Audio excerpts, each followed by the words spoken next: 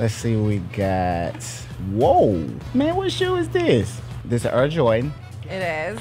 A Jordan 13. Is it a Jordan 13 low? Oh, he got Oh, it! yes, sir. It's the show that brings you drip from around the NBA. Tune into the Sneak Fest show presented by 10 Toes Memphis, where we talk sneaker culture, fashion, shoe trends, and lots more. Join me, Kelsey Wright Johnson, Sherman, Jerry, and Adam every Tuesday live at 10 a.m. on Grind City Media. Rob, let's hear. Some, Yeah. Can we get some nugs? Points scored during the NFL playoffs. Memphis number two on the list. Ah, That's because Jake Elliott and Riley Patterson. Rosa, you don't have to rain on the parade. That's because Yeah, no kidding, Roser. No pooping on nuggets. Put that as the title of the show this week. Get your sports betting picks and trends with Rob Fisher, Lang Whitaker, CJ Hurt, and John Roser, the odds couple. Now live every Thursday at 10 a.m. on Grind City Media and YouTube. This girl shared a text message that her dad sent their family group text. He said, I can't keep up with the pressure of always having to LOL or like or heart everyone's random thoughts, pics, and amusements. I never do it. You just don't answer. I know. And I just want everyone to know on any group chat I've ever been a part of, I see you, I like your posts, I just forget to do it sometimes. Tune in to Rise and Grind with Jessica Benson, live daily at 8 a.m. on grindcitymedia.com. It is time to talk about who you want to see in the dunk contest because that's really the competition that matters the most. John's not on my list. Ja is on my list. Yeah, I he mean- won't do it. No. He's talked about what would what it would take for him to do it. He's like three mil. Like he's not gonna do it. I think if he was in it, he would win. But I, I also feel like there's nothing for him to win anymore. Like he's already won. The, He knows. Join Lang Whitaker and me, Kelsey Ray Johnson, every Thursday as we debate the hottest topics in the NBA. I am a Joe on grindcitymedia.com, YouTube, and our social channels. HBCU Huddle with me, CJ Hurt, and Mike Wallace has all of your HBCU football, sports, and culture needs covered. We discuss the hottest stories weekly across the black college sports landscape, including the SWAC, MEAC, Tennessee State, Lane, LeMoyne-Owen, and all the black colleges in between. New episodes drop every Thursday, and you can stay connected with the latest stories and discussions about your favorite HBCU by going to grindcitymedia.com, selecting the podcast folder, and clicking on the HBCU Huddle tab. HBCU Huddle is a spot for all your black college sports and culture needs. Grizzlies fans know it's the team that gives you the edge. Big River Steel does too. That's why we're looking for team members to reinvent the steel industry, much like the Grizzlies are reinventing basketball. Our edge starts with you at www.bigriversteel.com. That's www.bigriversteel.com.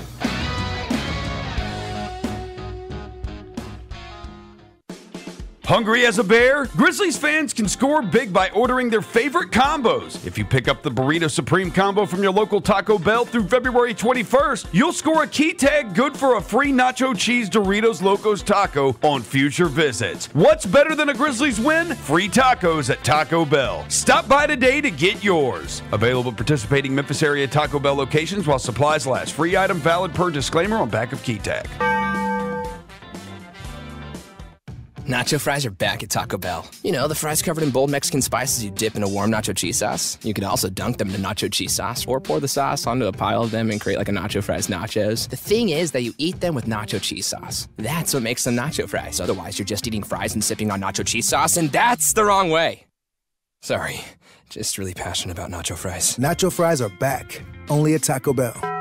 At participating U.S. Taco Bell locations for a limited time only while supplies last. Contact local store for hours and participation which vary. Represent Every Day, presented by Delta Dental of Tennessee, is an incentive based program focused on keeping youth K through sixth grade engaged in school in order to combat truancy. In partnership with Shelby County Schools and with the help of Delta Dental of Tennessee, the Grizzlies are focused on reducing chronic absenteeism among the most impacted schools in the Mid South. Students in the program have the opportunity to win fun and unique prizes by going to school every day and being engaged in the classroom. For more information on the program, visit grizzlies.com slash community slash education today. At Mountain Dew, we'd like to remind you that the world as we know it would not exist without the number zero. Which is why, at Mountain Dew, we'd like to recognize the number zero for making Mountain Dew Zero Sugar possible. Even with no sugar, it packs all of the bold citrus kick Dew Nation knows and loves. It's so good, you have no reason not to try it. As in zero. Get it?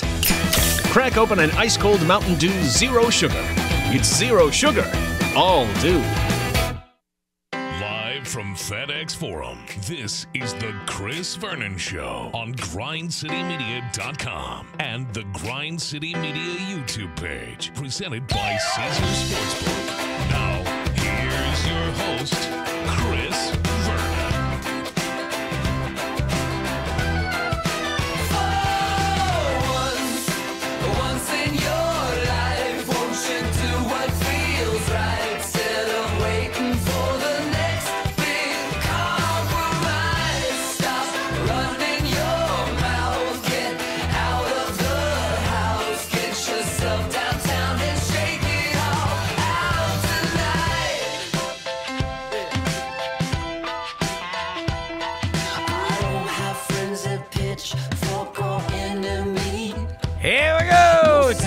Noon on GrindCityMedia.com. It's Chris Vernon Show. Welcome, welcome, welcome, welcome, welcome. It was a whirlwind day yesterday with the NBA trade deadline taking place. Well, that all got settled this morning. I went over and listened to Zach Kleiman, the general manager of the Grizzlies, speak about the events of yesterday. We will get to that. Gary Parrish is going to join us in studio. Jon Krawczynski, our buddy from Minnesota, who is now covering Mike Conley. He's going to join us in studio, find out what he thinks about what they did yesterday, moving off D'Angelo Russell, and now going forward with Mike Conley. Brian Edwards from VegasInsider.com will be here to talk all things Super Bowl as that is going on this weekend. Also, it's a Friday. The sun is out. Smile. Let's do it. Turn it up.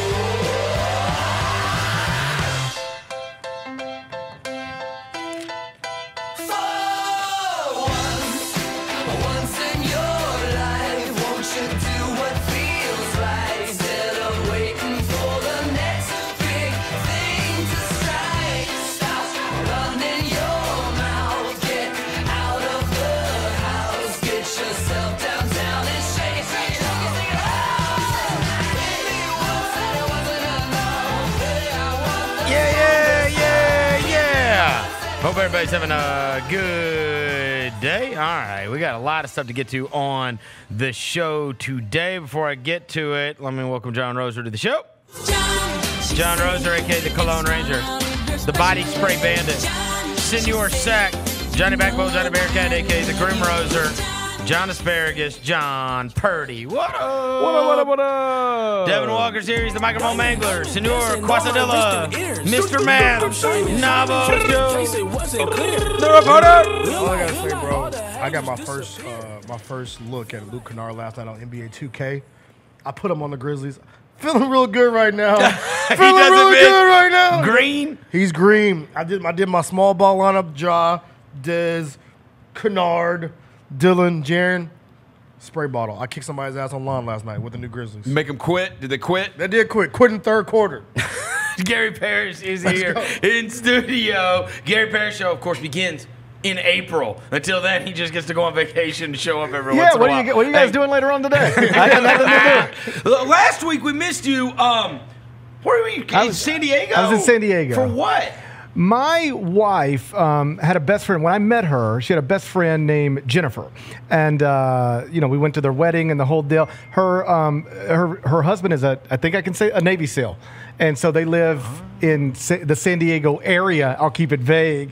And she was having a surprise uh, birthday party, and her husband, because he's a Navy SEAL, he's there. There is no social media presence for their family, so it's not like you can. I don't know what Jennifer's been up to. You know, like I, they- they're just off social media completely because of his career. Yeah. So he reached out to Kelly and he was like, "Hey, I know it's a big ask, but if you guys could come out, I'm throwing a surprise birthday party for Jen. She'd love to see you." And uh, then Kelly brought it to me, and I was like, "Is it important to you?" And she said, "Yeah, I think I think it is." And I said, "Then let's go." So I flew from New York, and uh, she flew from Memphis. We met in Detroit, and then went to San Diego. So had a weekend in San Diego. Who better to plan a sneak attack than a Navy SEAL? this is who you want to get on your side if you want a sneak attack. That being said, the only thing I see about San Diego is Bill Walton complaining about it all the time. Yeah, what's wrong with San Diego? No. Oh. What does he say about it? They, like their their parks have been overtaken by like campsites.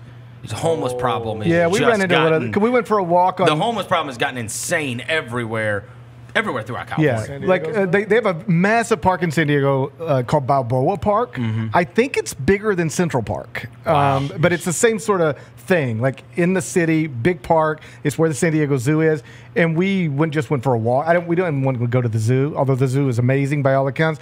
But uh, we just went through for a walk through the park, and you saw a little bit of that. Love it. Yeah, yeah. Crazy. I'm trying to get one of these jackets though. I saw GP walk in. I've never seen a human being on earth with a CBS jacket. I got a he's bunch got of a bunch of I got a bunch CBS. of He's always rocking CBS stuff. if, if you need one, I get you one. Hey, I'm you trying to can get just a make a CBS Grizzlies jacket. trade. You got a bunch of that old Grizzlies stuff. Yeah. Just trade the one, CBS. the one that I actually I actually think's funny that I own it is the CBS Sports the Blazer. Blazer. Oh, that's so amazing. Like Jim Nantz. Yeah, like, Yes. like you don't because you don't just get them if you're like a studio analyst You gotta or a be host. Verne You- Lundquist. You, got to be on in a game. So like as a sideline reporter, I remember when I got my first CBS Blazer, and I would just I would just put it on and I'd feel like Jim Nantz. Yeah. I was, I was like I feel like Jim Nantz. I feel real important. Yep. And uh, so I, now I've got a bu- but you want one of those? I can get you one of those hey, so we went down. Roser and I went down to go watch. Uh, well, Desmond Bane spoke, and then uh, Tyus, Tyus, Jones yeah. spoke. And yesterday, we we tried to line it up to figure out Tyus Jones had graduated because he's only there for one year at Duke after they had won the title with the Okafor Winslow team, and then Kennard came in after, and Kennard was there for two years and was there the first year with uh, Brandon Ingram and the second year with uh, Jayson Tatum. So I mean, pretty good in terms of who you played alongside. And Grayson Allen was there the whole time too, obviously. Um, but he's a fellow Duke guy. I guess there were the pictures surfaced around Yep, it's right here on my around. I of right here. Tyus and Kennard, right? And Tyus said they've been buddies since high school. They, they go back to high school, and Yeah. what you find, I think, and I know you are all, you were always at that Peach Jam for so many years. All these guys know each other. They're all friends by the time they're 15. They That's all right. know each other all over the country. Like when we were their age, when we were 15, you couldn't have friends in other parts of the country. that didn't make any sense. You'd, you had to call them long distance and you have a uh-huh. $400 phone bill. But these days, like your best friend can literally live anywhere and you can keep in touch with them more or less as much as you keep in touch with your best friends who live down the road. Yeah. And so, yeah, all these guys, they grow up playing against each other. Like, I bet you if you took two similar aged Grizzlies who were also heralded prospects coming up, all know each other. they are. They've known each other since they were 12 years old. And it's crazy because a lot of them hold like the same opinion of the guy that they've always had. Right. And I know this because every time, if you were to go ask anybody that's of that age, go ask around what they think of Cam Reddish, and they think they Oh, yeah. think Cam Reddish is amazing. Oh, I bet- Cam Reddish is on his like fourth team already, and they all still think Cam Reddish. I remember him from Jam back in 2000. Well, yeah, I- yeah. So I'm convinced that Cam Reddish, Rudy's like this, Jeff, Jeff Green, was like this. I'm convinced that this is what it is because the summer circuit and and that AAU ball is very similar to when they all just get together and play pickup in the summers, and that those guys in the non-structure are unbelievable. Oh, yeah. So you go play with Cam Reddish in the summer, and you will walk away thinking this dude's ready to blow up, Right. and he's not ready to blow up because they play. They have played. It's unorganized basketball. Well, how about this? yeah. So, Bu- Yeah. Bu- I was talking to Bob Huggins about this one time. Um, he had Joe Alexander. Remember Joe Yes. Alexander? It's like a lottery pick, the whole, and then was a total bust in the NBA. Mm-hmm. And I was like, so what? What? I was talking to Huggins. I was like, so what happened there? He said, I'm. You know, if you put him in a workout, run him through drills, you'll think he's a lottery pick. You put nine other guys on the court with him, he ain't the same guy anymore. yeah, And that's that happens. Yeah. That, That- happens, that a, lot. a lot. To your point about these guys all knowing each other, I feel like I'm name dropping nonstop. This is like a real story. When before Kevin Durant was was uh, played his freshman season at Texas, I went to Austin, spent a couple days with him, and we went to lunch one day, and we were just sort of talking like normal people. And he was like, "So where are you from again?" And I was like, "Memphis." And he goes, "Oh man, you know Randy Culpepper?" he is a legend. And I said, yeah. I said, yeah, I know Randy Culpepper. And he was like, Randy Culpepper's cold, man. and I was like, I was like, you have no idea. You tell people you're from Memphis and they go, Elvis or Beale Street. You were the Randy- first person who's ever name association with Memphis was Randy That Culpepper. is so good. Did I- is he I Central? Was he remember- Central High School? Uh, he played in the conference. He played didn't at UTEP. He was at UTEP. Yeah, He was yeah. at UTEP. So I think where did he, who was he? High, Sheffield. Yeah, but- He was at Sheffield. I yeah. re- there was a uh, there was a podcast I can't remember maybe a couple years ago. Kyrie was talking about Joe Jackson There in high school, Yeah, and he's yeah. like, "Bro, Joe Jackson was so cold, Yeah. and I- like he gave all of us buckets, all of us." so funny. Yeah, so we went down and listened to Kleiman talking today after uh, Desmond and Tyus, and I don't know what you took away, Roser. Like this is what I took away. Obviously, Kleiman's always very confident. He's very good today, actually. Um, not actually. I don't want to say like he's not. New, He was sur- he was surprisingly good. Yeah, he only talks a couple times a year, and he's always good when he does it. Um, you know, very confident of the team. He's also he's. I like when he is very self-aware about kind of what the what the concerns are, right? So like when somebody brings up, "Hey, you guys lauded the veteran presence of Danny Green." Well, now Danny Green's gone, and you got younger again, and you're still very young, and so are you worried at all about not having that veteran presence around, et cetera, et cetera? And you know, he doesn't sit there and go, "No, it's not an issue at all." What he continues to say is, a, and he's very good at doing it because he, he he can change the subject on you, which is what all great speakers can do. Right. A, yeah, we're the third youngest team in the league, and basically no one wins like us. So I like that these guys are brash. I like that they believe they can beat everybody, and I back them 100%. Yeah. And he goes, Are there going to be challenges? Inevitably, there are going to be challenges. And I've said from the very beginning, this is not going to be linear. Our growth is not going to be linear. It's not you do this one year, Yeah. then this, then this, Yeah. then this, then this. Like, you're there. It is Yeah. what it is. And and then that was like towards like after you got into like the real question and answers. But what mattered to everybody was yesterday in the trade deadline. And without being abundantly clear, he was abundantly clear that they made what they felt were extremely aggressive offers. Yeah. And because he even stopped himself and he said, offers that you would have said, wow, they're really going for, you know what I mean? Well, Zach Lowe reported on some of this this morning. Yeah. Right. Where he's, I believe the report was Grizzlies offered three firsts for OG. Right. Yeah. And they offered every pick they have for Kevin Durant. I mean, I would have liked to reunited KD with Randy Culpepper. Yeah, Me right. too. That would have been nice. Um, I think uh, I think Cam Johnson's name is out there, like it's Johnson and Bridges. So if they are the one that offered the four first round pick, it would, honestly, it would not surprise me. Because here's the thing: when you hear them like throwing around the first round picks, think about the way that they have acquired a lot of these guys. Are they're not picks that they had? They've traded into picks a lot. They've traded into picks to get them, right? So, like, they traded into the Ziaire one. They had to trade with Boston to get the Bane one. Like, these are ones that are like big ones that we remember. The BC one was a trade, right? The BC, BC one was, was, a trade. to Oklahoma City. LaRavia was a trade. Roddy was a trade. Yeah, so I mean, when you can trade into, and they have shown an ability to trade into the first round, it makes it a little less worrisome that you are possibly moving them because it used to always be that right, especially in a small market, like that's your that's your thing. So it, it is fascinating to think about how aggressive they were with those picks because small market teams are not typically aggressive with those picks, but they tried to float them around and they just couldn't get a return on it. What would you say to a fan who says, okay, three first round picks sounds like a lot, but it Mhm. clearly wasn't enough? It wasn't enough. Could you have done more? I would say that that to me is already way more than enough. Eh, For the players that you're talking about, right? I would say that if it's like OG Anunoby's, Right. for instance, right? So, somewhere along the way, OG Ananobi got talked about so much that it became he's like that he was all star OG Anunoby. Other than now listen, is, I don't, I don't want to have revisionist history. I wish you were here today. I do too. yeah, I yeah. do too. But that being said, I I also don't think he I, honestly like he's not three first round picks. No. He's not three first round picks. Well, like Mark, He's. Gian, Mark Giannotto at the Commercial Appeal tweeted a possible trade package yesterday or the day before. It involved three first round picks and maybe Ziaire, I don't know, but Yeah, like yeah. a, a young player and three picks.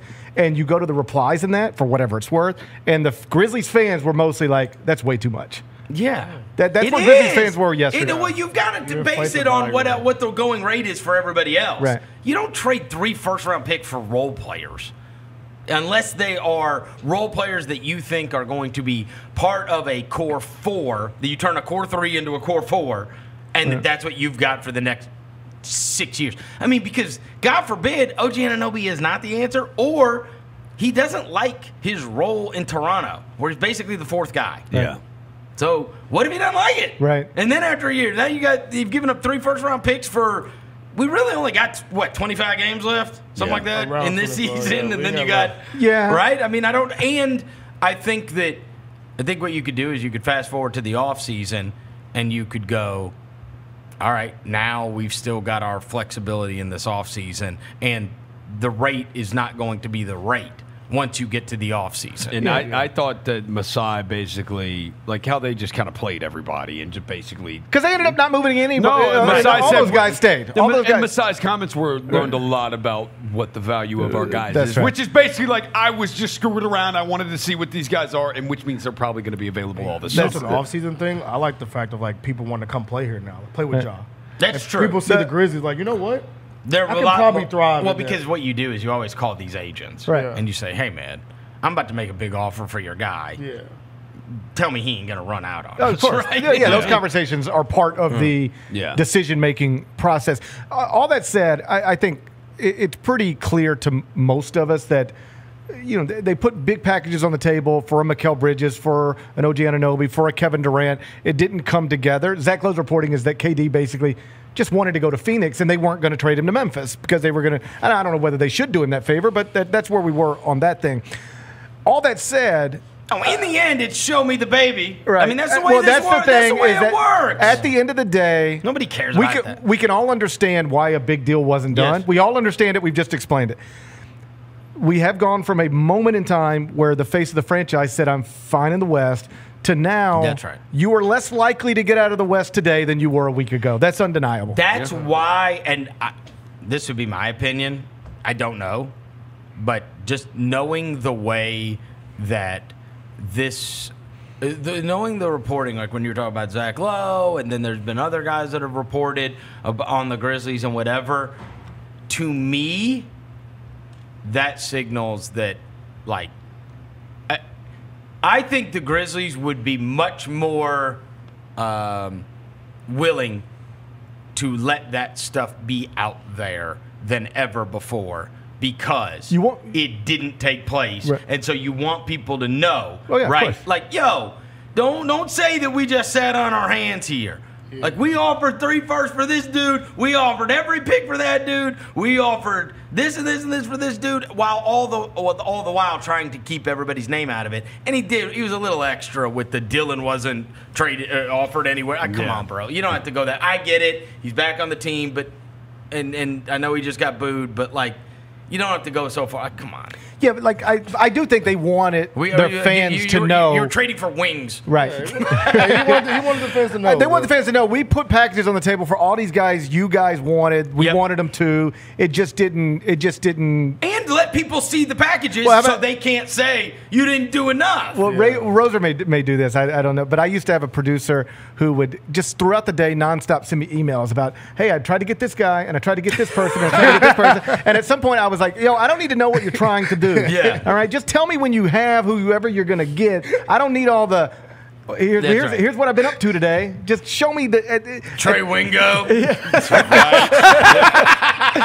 Started on that. Tell me, tell me who I'm talking to at 420. I don't need to know anything else. Yeah, all that extra shit, bro. and and and that's sort of where we are with this as well. It's like it's cool that you tried, but the Suns passed you.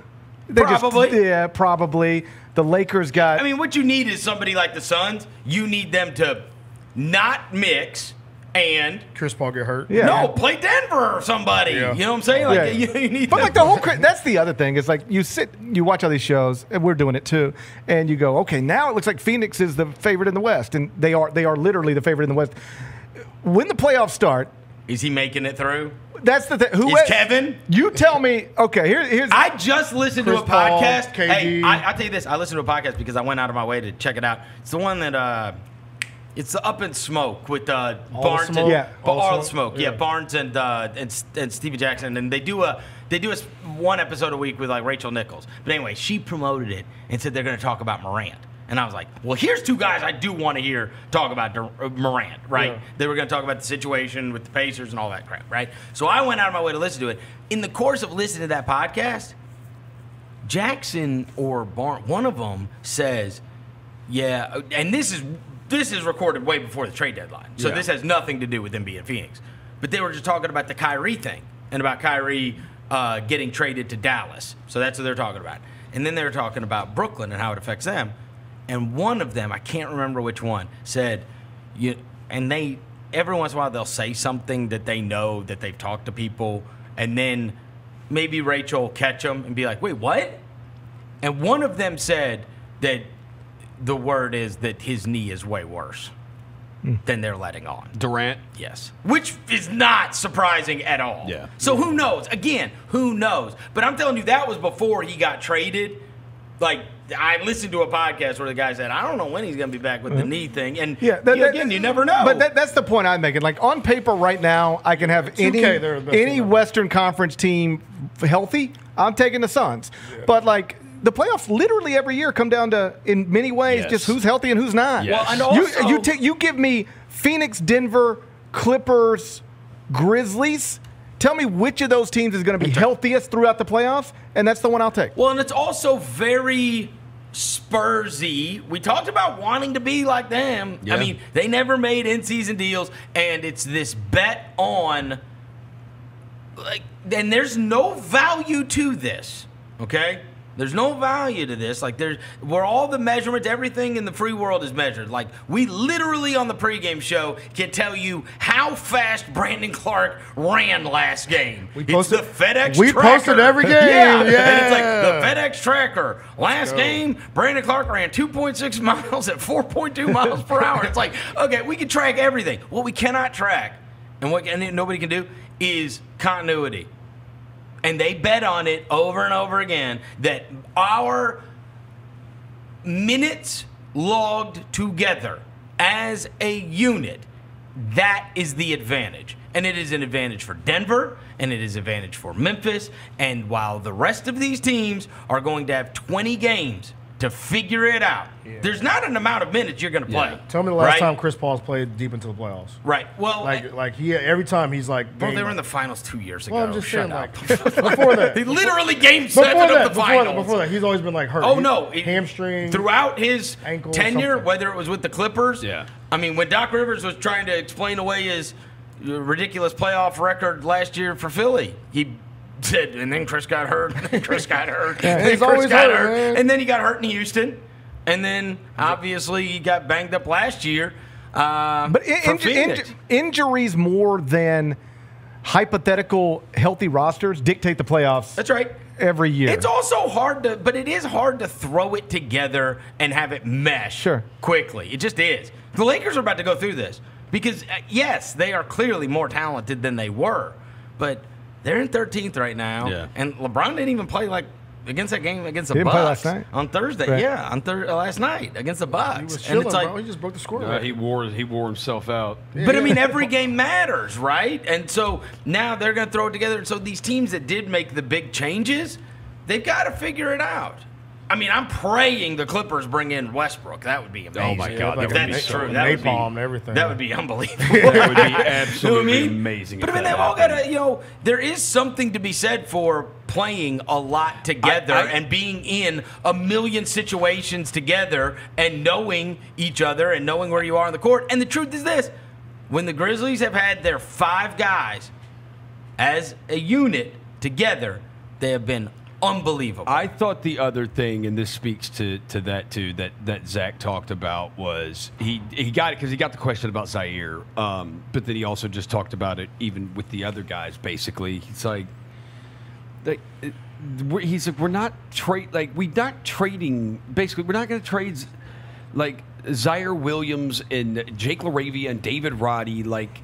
These guys are 21, 22 years old. Most guys, and he, he said most guys in the NBA do not hit their prime until they're 26, 27, 28, 29. Like, we're not giving up on these guys after one season of putting stuff into them. Like that's not how we operate. A year ago, I would have told you that Santi Aldama can't play. Right. Yep. Even A year ago, I G did League. tell you Yeah. that Santi Aldama Sa- could not Santi play. Aldama, look, we did a we did a thing at Summer League. You guys will remember this. Remember when we recorded? Yeah. We recorded an episode and we went to a Summer League game and I came on the episode and I said, I know they're like super high on Santi Aldama and they're trying to run everything through him. I'm like, what does he do? Right. Like, what is he good at? And the next game, he had like 32, 12, 6, 5. Yeah. And I was like, oh, I guess the answer is he does everything. Right. Like, And just- and then he started for Jaren Right. for And he you looks- 17 You just games. you don't you don't know how these guys know. are going to Nah. develop. Like you didn't expect. If you would have based on what you saw their rookie season, you would have never thought that Santi would be this in his second year and Ziaire would be doing what he's doing in his second year. That's you would not have thought that. Trust the process. I would bro. I would have thought the reverse. Yeah, the development. I would have thought that development is Ziaire different. Was going to be a much bigger contributor. He started for Dylan for 50 Yes. something games. Right. And that Santi was going, he'll be having Roser calls games Yeah. all year. I got some NBA news for you. Two parts of it. Let me hear. Uh, they picked the All Star replacements for the All Star game. Oh, did Edwards get in? Yeah, Edwards did get in. Lauri, yeah. So those are starters. Jot 12 started in the All Star game. Lauri Markkanen, no, yeah, that. Wait, Embiid. wait, wait, wait. Okay. So Embiid's filling in for, uh, Durant, and then who? Zion, oh, and Curry. Zion, Zion is- and Curry. So, Okay. Oh, yeah, so then the replacements Anthony Edwards, De'Aaron Fox, and Pascal Siakam. Wait, Edward. Oh, so Zion is replaced. That, that gave it two spots. yeah, forward. Zion. Steph, I'm Durant thrilled. out. Those three in. John moved into the starting Those guys lineup. totally Double deserve to be in there Yeah. too. And now let me tell you this: you could have given me a million to one odds on Lauri Markkanen starting an All Star game. And I, I mean, I'm like, where all what, What? All Star game? what All Star game? What All Star game He's starting in? Laurie 2K is game? starting in the. all- Speaking of development, is not linear. Yeah, I thought he was a bum. What the hell? He's been given up by two teams. Yeah. I mean, Chicago, yeah, and then Cleveland. You know, Cleveland, like, I mean, they had to move him in the Mitchell And, trade. well, and this goes to show something too, as Zach Kleiman said, it's like you look at guys, they don't hit their prime till they're 26, 27, 28, 29. Dude, Lauri Markkanen is still 25 years old. Right. He was And the one does- and done guy. He does not turn 26 until May. Man, Sheesh. starting the All Star game. Back to back to back for John. So And Ja, Ja Morant's going to start it again, huh? back to back. Yep. I don't know I why I, you I would will give make up a though. bet right now. You ready? Mhm. He's gonna try to win MVP. I'm being dead ass about it. Like he's gonna try to win. What did, he, he didn't do anything last year. Last year he had two dunks with Trae Young. and that was it. Two, yeah, that's all he had. I think this year he's gonna try to win MVP. You think he'll try to go for it? I it? think he's gonna try to go for it. He is one of those guys that, like, if he tries really hard, like everyone In once in a while, those you see. environments? Remember when Westbrook, like, obviously was Yes. like giving it everything he had. in He the won back. He won back to back years. Westbrook Yeah. did. I win think in the I mean, he was so environments like that- obviously trying, and nobody else was. yes. No, All Star That's game. the hard part about it. It's like you've got to play, but you don't want to act like you're trying too hard. You got to try to. The way to win MVP is try too hard or just get hot making shots. Exactly. That's the what Curry two- did. Yeah, That's that's what that's, Curry how. Well, like Curry, you sort of expected to make shots, Yes. although that was ridiculous. Yeah. But like, yeah, the guy who gets hot Yeah. or the guy who tries harder. th- Like, if you decide, What- just like the other night when LeBron decided he was breaking that record the other night, you can decide. Yeah. You can decide I'm going to score 30 in this All Star game if they keep me on the court long enough. I saw that You might be a jerk, but but Yeah, you can do it. asshole if you do. Yeah. I, I saw the clip. I don't know if you guys saw this of LeBron going over to his kids. Yeah. uh, like in the third quarter, Mm-hmm. and he's like, "How many I need?" And they're like 16. He's like, "All right, eight a quarter. I can do that. Yeah. Should I do it tonight?" You know Well, what that's I the mean? thing. If LeBron wanted to go get 40 Oh, every sure. night, he could go get 40 every night. So he had made up his mind he was going to do that the other I night. I think when he put on that headband, he made his mind up because he didn't wear a headband the whole year. He was like, "I'm gonna go back to Cleveland Brown." headband. when he put that LeBron. black suit on is when he made oh, up his mind. been- Hey, that boy was clean. Outside of like, because we know Curry won it last year, as we're talking about. Like, do you know who won the year, like the two years Giannis. before that? Giannis won in 2021. Do you know who won in 2020? Uh, we was it Chicago? Was that when we were there? 2020. I think that was Was Chicago. it Harden? No, no, no. No. Tw- yes, right before the pandemic. That remember I was Yeah. sick. When- Yeah, and you were free, and you were freezing, Devin. Yeah, I was freezing 2020. Devin I- hates I- Chicago. Bro, I I don't- still- I ain't It's cold. The only built pictures I have left on my phone from Chicago are like pictures of the Jordan statue and Devin sitting bundled up because it was the funniest thing I ever got. Like, like ten layers Hey, of clothing. It's cold in the United It Center. is. Ain't nothing around it. No, No. And, and and we were on Michigan Avenue, so you're right down there near Lake Michigan. It's I am like a t- wind tunnel. freezing. Oh, dude. terrible. When we I'm went to Navy for that, Pier, that's where they did the uh, frozen. all Lake the Michigan activations they did. Lake Michigan. I like looked at. it, I'm like, bro, Lake Michigan's frozen. the whole thing. and then there are like regular regular citizens running. I'm like, what the hell is wrong with y'all? You're Hey, running outside. so wait, what is uh 2020? So that was the first year of the Elam ending. Yeah, that's Chicago. Who Was it Dame? No, who did it? Kawhi. I don't remember that at all. It was all. Kawhi, and then Charlotte. Kawhi? We were, and then we were in Charlotte. Yeah, KD yeah. Durant won there. All right. Go All. Don't get that. Uh, Gary, I got to ask you about college basketball before uh, you're out of here. Uh, anytime Memphis loses a game, especially if they lose a game to an opponent that people feel like they should not lose an opponent to, uh, uh, uh, lose a game to, it's freak out time. Now we have had a little while to digest, you know, the fact that they did lose to Tulane. Since then, they were able to turn around and get a good win. Oh, good on Tyler Harris, by the way, Right. for setting the three point record. That was super cool. Um, and so at least they got the Tulane thing out of people's system for a minute because they've won a game since.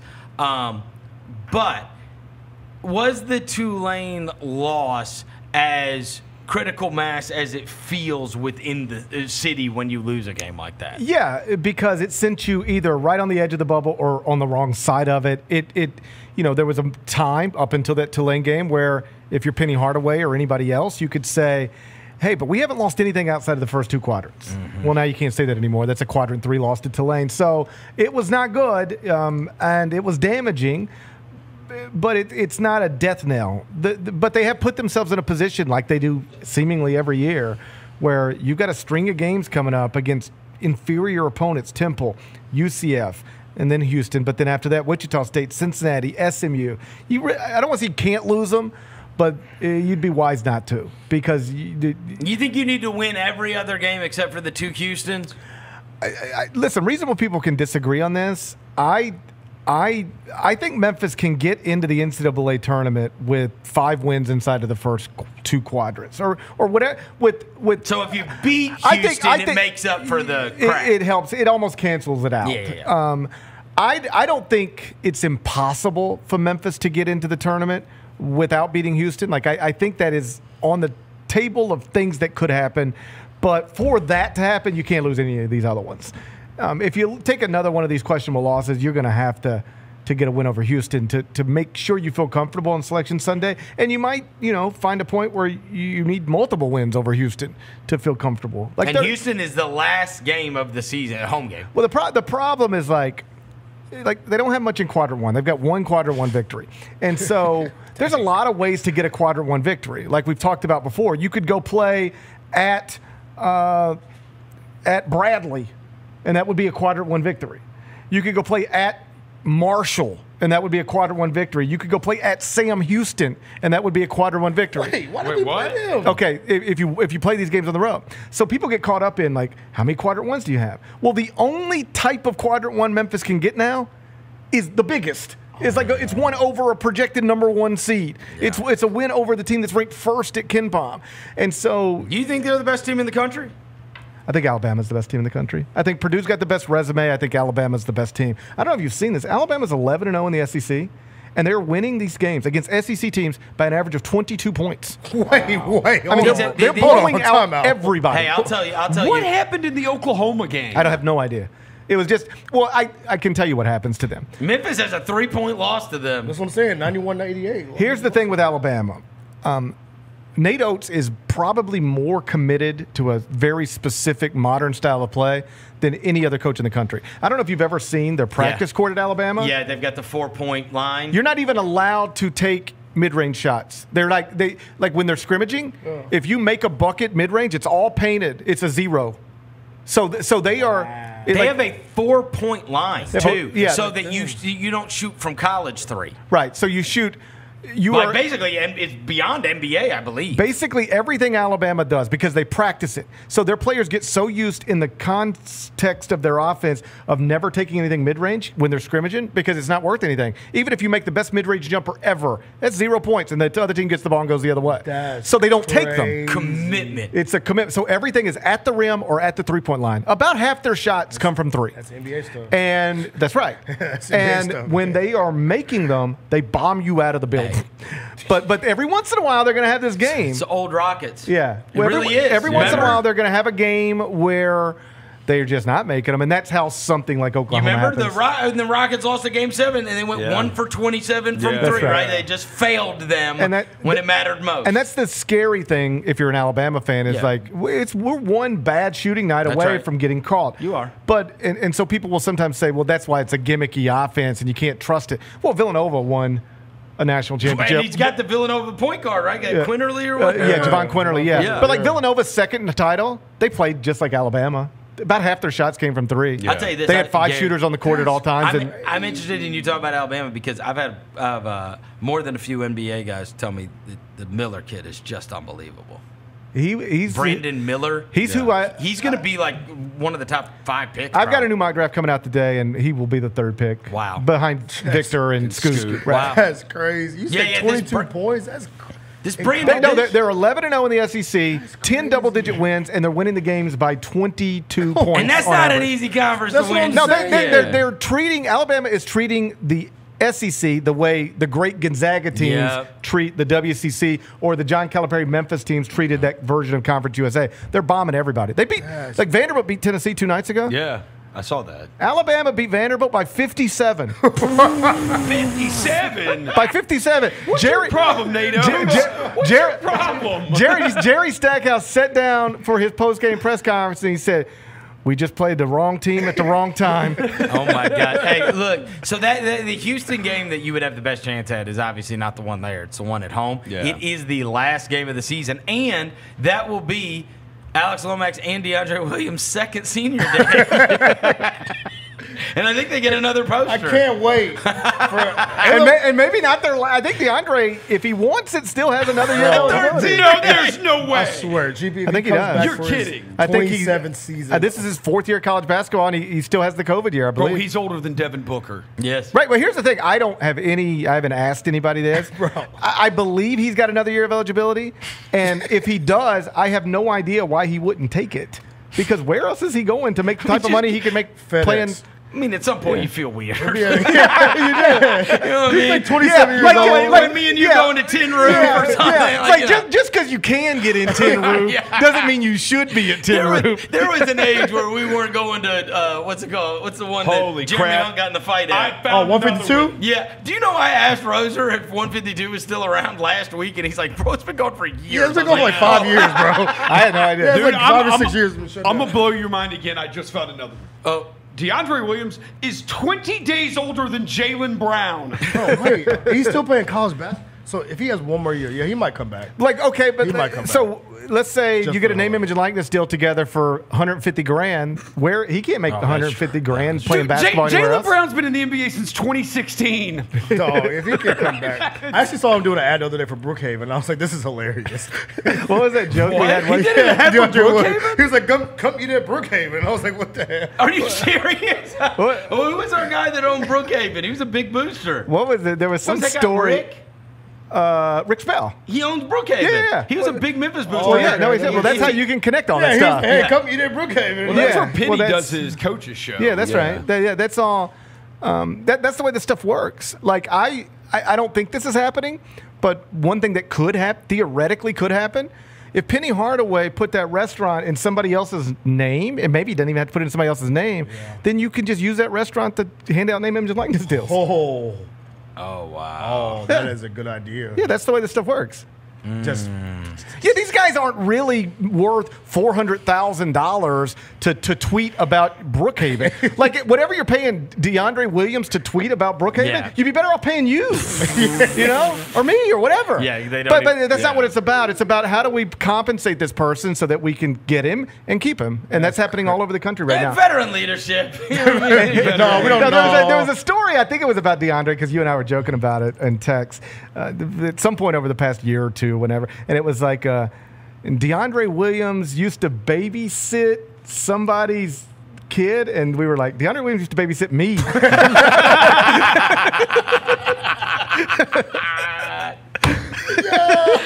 DeAndre Williams was my babysitter.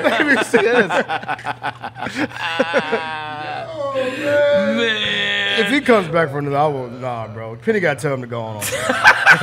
this is but this is what you're going to see unless like like how about here's another one for you. Again i have no insight. I haven't asked anybody.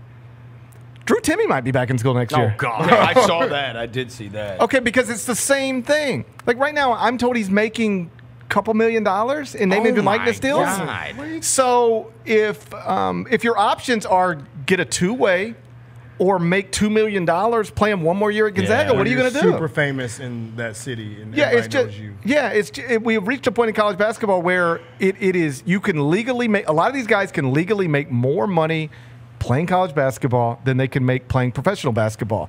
Unless you're an NBA player, the most money you can make playing basketball is now in college basketball. Yeah. It's not Spain, it's not Australia, it's not the G League, it's college basketball. You can see a lot of these guys coming back to school. Memphis this weekend plays against Temple of the Dog, which you would think is a nothing game, except that was a two point game. And they're coached by former Grizzly Aaron McKie. They are. They um.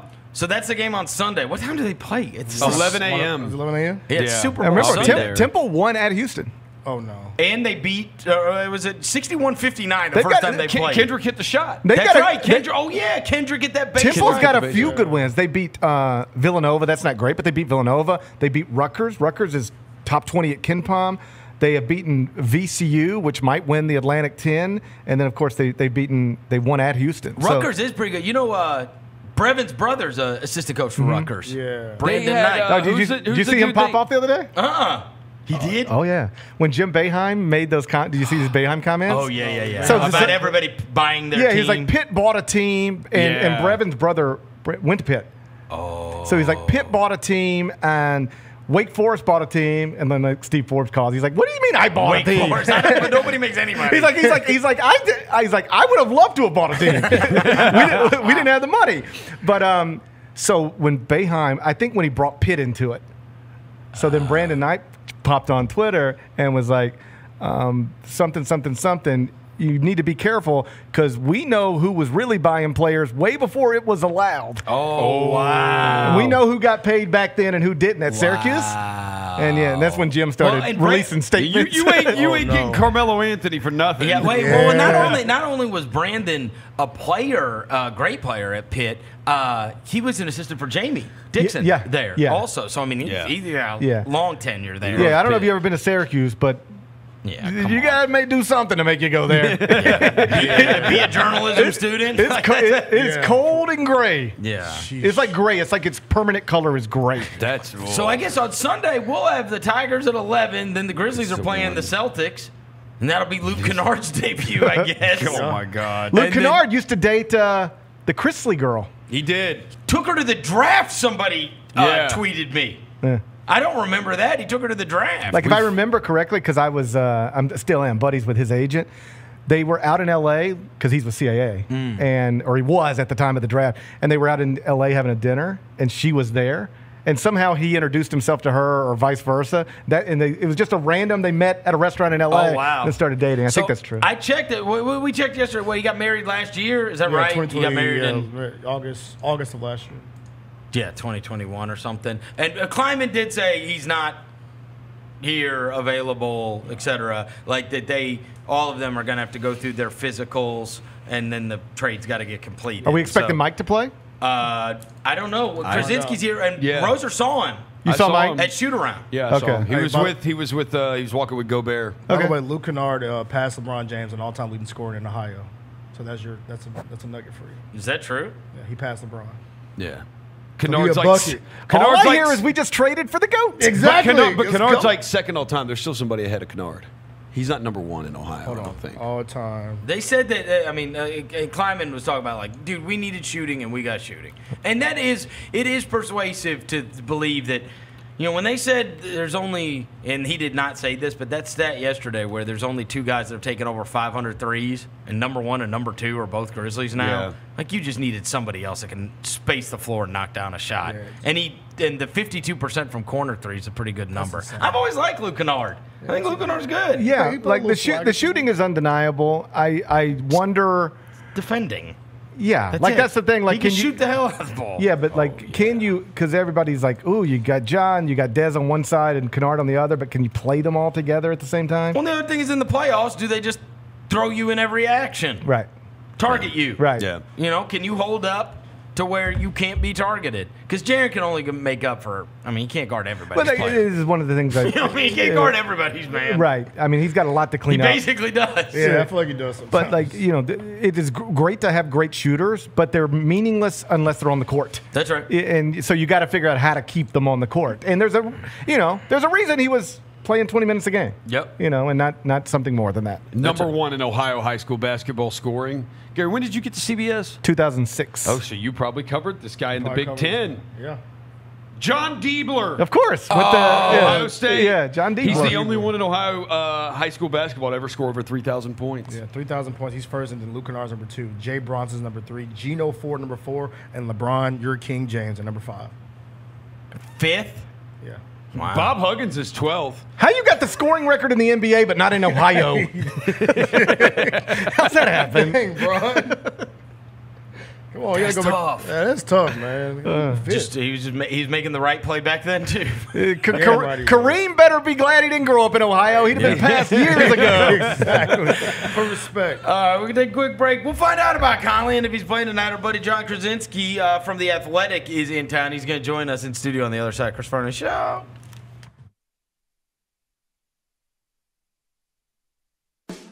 Hungry as a bear? Grizzlies fans can score big by ordering their favorite combos. If you pick up the Burrito Supreme combo from your local Taco Bell through February 21st, you'll score a key tag good for a free nacho cheese Doritos Locos taco on future visits. What's better than a Grizzlies win? Free tacos at Taco Bell. Stop by today to get yours. Available at participating Memphis area Taco Bell locations while supplies last. Free item valid per disclaimer on back of key tag.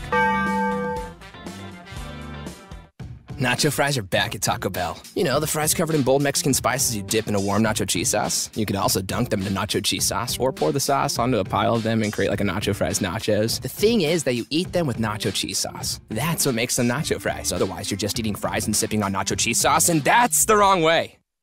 Sorry, just really passionate about nacho fries. Nacho fries are back, only at Taco Bell. At participating U.S. Taco Bell locations for a limited time only while supplies last. Contact local store for hours and participation which vary. Represent Every Day, presented by Delta Dental of Tennessee, is an incentive based program focused on keeping youth K through sixth grade engaged in school in order to combat truancy. In partnership with Shelby County Schools and with the help of Delta Dental of Tennessee, the Grizzlies are focused on reducing chronic absenteeism among the most impacted schools in the Mid South. Students in the program have the opportunity to win fun and unique prizes by going to school every day and being engaged in the classroom. For more information on the program, visit grizzlies.com slash community slash education today. Grizzlies fans know it's the team that gives you the edge. Big River Steel does too. And much like the Grizzlies have recruited legendary talent, we want you to be part of our team. Are you ready to be part of something legendary? Then visit www.bigriversteel.com. That's www.bigriversteel.com.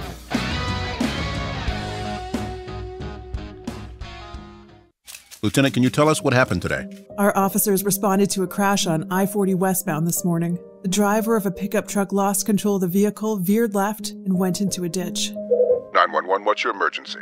We've been in a crash. Please send someone. My fiance is hurt. A front seat passenger was wearing a seatbelt. She survived without injury. The driver was not wearing a seatbelt and was ejected from the truck. He died at the scene. Law enforcement writes tickets to save lives. Brought to you by the Tennessee Highway Safety Office.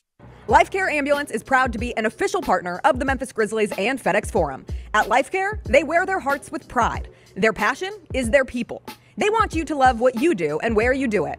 Their employee driven culture encourages a healthy work life balance and supportive work environment. They invest in your success and well being so that you can provide the best care for the patients that they serve. Join the incredible team of EMTs and paramedics in Memphis, Nashville, and across the nation today. Learn more at lifecareamb.com. Eight time Grammy Award winning Anita Baker.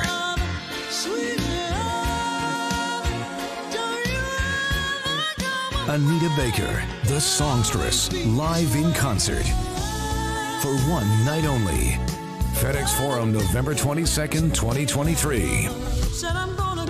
Get tickets now at livenation.com. Don't miss your chance to see the legendary Anita Baker live in Memphis. Shinedown, the Revolution's live tour. Friday, April 21st, FedEx Forum.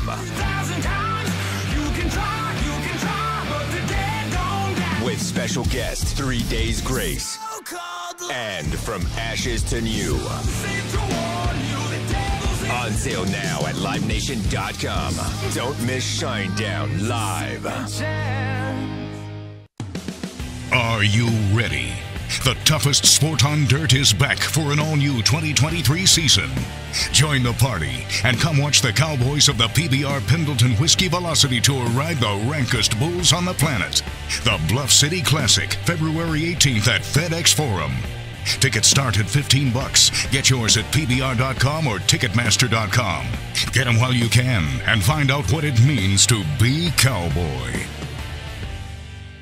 At Mountain Dew, we'd like to remind you that the world as we know it would not exist without the number zero. Which is why, at Mountain Dew, we'd like to recognize the number zero for making Mountain Dew Zero Sugar possible. Even with no sugar, it packs all of the bold citrus kick Dew Nation knows and loves. It's so good, you have no reason not to try it.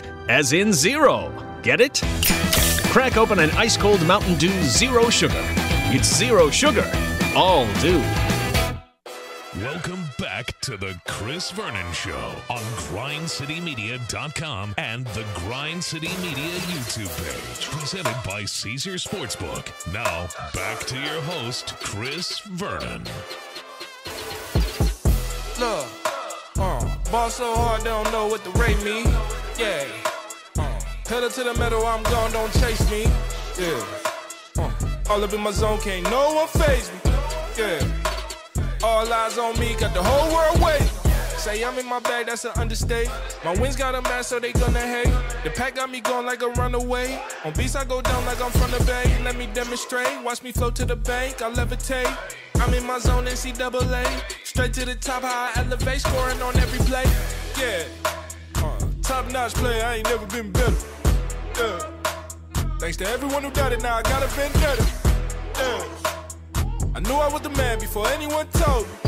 Yeah. All right, we're back. Chris Vernon. job ain't Show. done till I hold that trophy. At least it's nice outside today. I mean, it's a little cold, but it's nice outside. Uh, sun's out. Uh, if you are looking to bet on this game this weekend, or I guess you can bet on the game tonight, uh, Caesar Sportsbook is our sponsor, and you can go to your app store today. You can type in Caesars, and you can download it. It is free to download, and in addition to that, your first bet is on them. You can get back up to twelve hundred fifty dollars back as a free bet if you don't win using the code Vernon Full. Vernon Full. I've already got my Chiefs bet down. I bet on the Chiefs, so if you want to follow me on that, you can. Brian Edwards from Vegas Insider is going to join us a little bit later on the show, and we'll get his bets and prop bets for the weekend. Jon Krawczynski is one of our favorite writers in the country. Only gets to come in town a couple of times, except when it's the playoffs. He was here for the playoffs. Uh, from Minnesota, writes for the Athletic, as you can see Right on his garment. Yeah, we gotta get jackets around. Yeah, Fly did- the flag, Ga- man. We had Gary Parrish in a CBS sweatshirt, and now Jon Krawczynski in an athletic sweatshirt. The huge audience, man. I got to tap in. And I understand. Oh, Get it out there. Free advertising. Yeah, no absolutely. big whoop. Um, first of all, I just said I'm betting on the Chiefs. Do you have a rooting interest in the Super Bowl at all? I'm, I'm, I'm not really. I'm, I'm glad these two are playing. I think they're. I was actually rooting for the Bengals. I'm a Burrow guy, but um, uh, it, I will be rooting for the Chiefs. Uh, I'm not a. I'm not an Eagles guy at all. So uh, Gotcha. I'm a. I, I like Mahomes. My kid is a big Mahomes fan, so we'll be. Every watching. kid, I try Everyone to tell is. people this. right? Everyone is. Oh, this is so good. I'm glad we get to talk kids. Yes. I said Odell Beckham Jr. was a big one when William was a little bit uh, uh, younger, but in terms of like cool, Yes. Mahomes is the one NFL guy that breaks through the NBA guys. Agreed. He. Yes. And that's really it amongst kids. There are yes, there are not that many. I think Justin Jefferson is getting there. Yeah, he's not there. S- yet. certainly locally Yeah, for you. definitely locally. But yes, Patrick Mahomes. He's got the Fortnite skin. Yeah. he's got all of that, all that stuff, and he's a flashy, super entertaining guy. And kids know him. Definitely in a different way than they know any other NFL guy that I know of. I know. there. Yeah, it's It- crazy. You know, it's kind of crazy because you see the numbers of the you know the viewership and whatever, but Mm-hmm. I, just amongst kids, those kids they know all these NBA guys. Yep. And they've got their shoes and they try to Mhm. dress like them and they follow them all on social media. But NFL, it's really not like that. There's only one that really transcends, and he's he's on like that, you know, Curry, Yes. you know, whatever level. Because Curry's kind of their guy. It has always felt like. Hundred percent. They didn't care about LeBron's thing. Did your your kid doesn't care about LeBron, right? He, he- yeah, I mean, he he likes him because he's a big because because he knows he's really really good. But yeah, he's definitely more Steph. Yeah. he loves Ja, loves Ant. He's a big D'Lo guy. He's had a tough time with the trade this week. Oh, so Oh, no, that was a because your son one. is what ten? ten years old. Yep. So I told him and. Tears were starting to come down and stuff. It's, you know, that's just what it is. Oh, man, So yeah, that's it's tough. It is a tough thing. Well, but- hey, you could be my kid, and last year during the playoffs, buy a D'Anthony Melton jersey.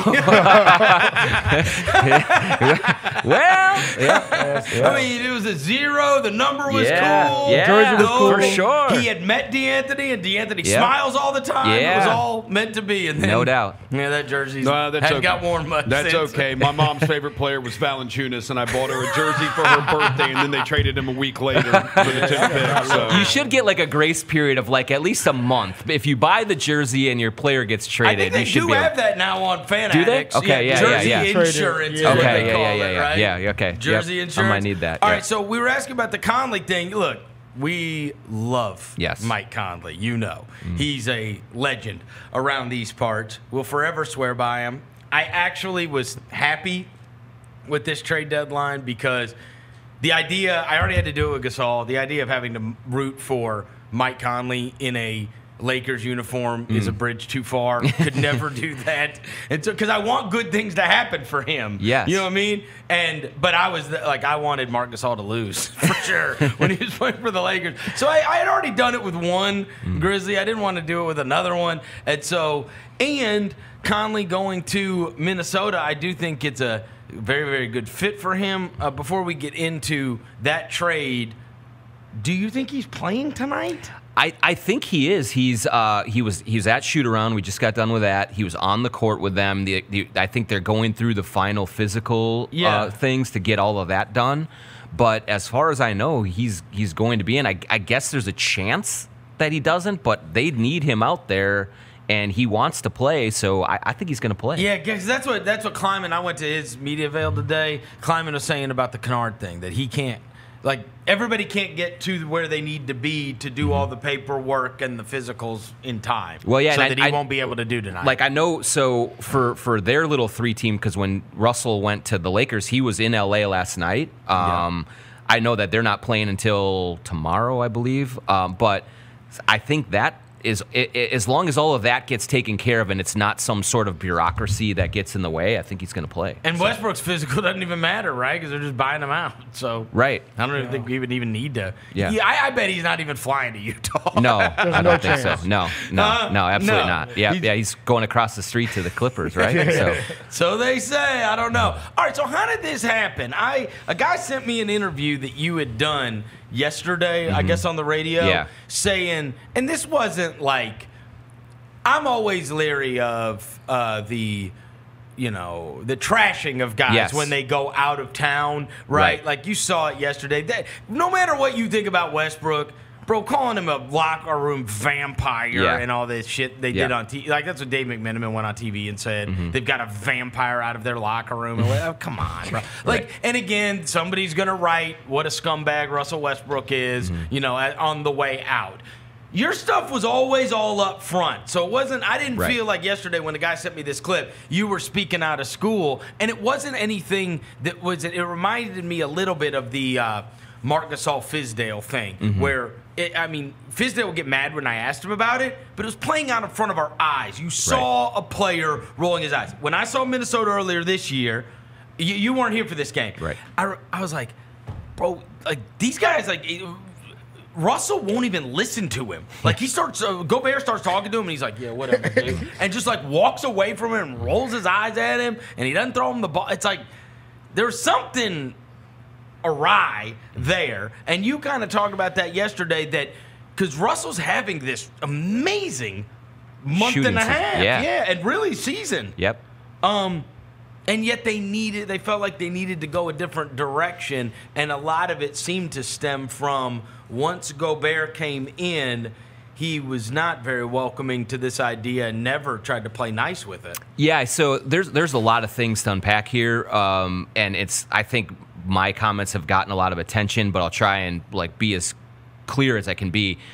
Throughout the season, we watched it, and it was clear that they were not on the same page. Now, this was not Jimmy Butler running roughshod over the Timberwolves, the young Timberwolves. This was not a super toxic environment. This was not that.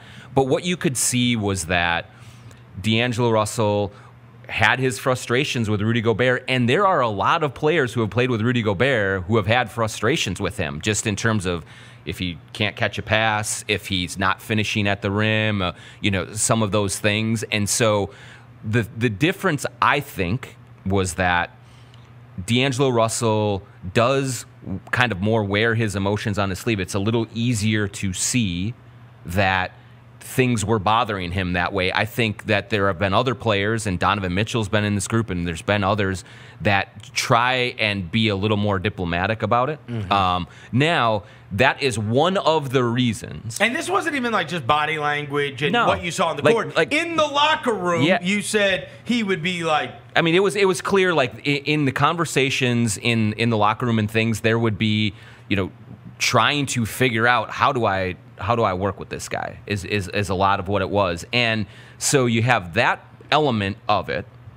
You also have his contract situation. He's going to be a free agent. They were not going to re-sign him, and you have kind of in addition to the great shooting that he has, he's he's a defensive liability. He's had other issues from a performance perspective as well. So when a team trades him, it's like, well, why didn't you say all this before? But we had been writing most of the season that they were having a hard time getting on the same page. Like this is not new. Now, some of the specifics of it, I think, were new. But in my view as a reporter, I was watching some of this play out, and as you know, every team has personality conflicts on it. Every team has th- bridges that uh, gaps that need to be bridged, and so I just wanted to watch and see this play out, and maybe they would have worked all of that out over the long haul, and everything would have been fine. Clearly, the Timberwolves got to a point where they said we're not going to resign D'Angelo Russell, and we have to move him along. Why did he get traded?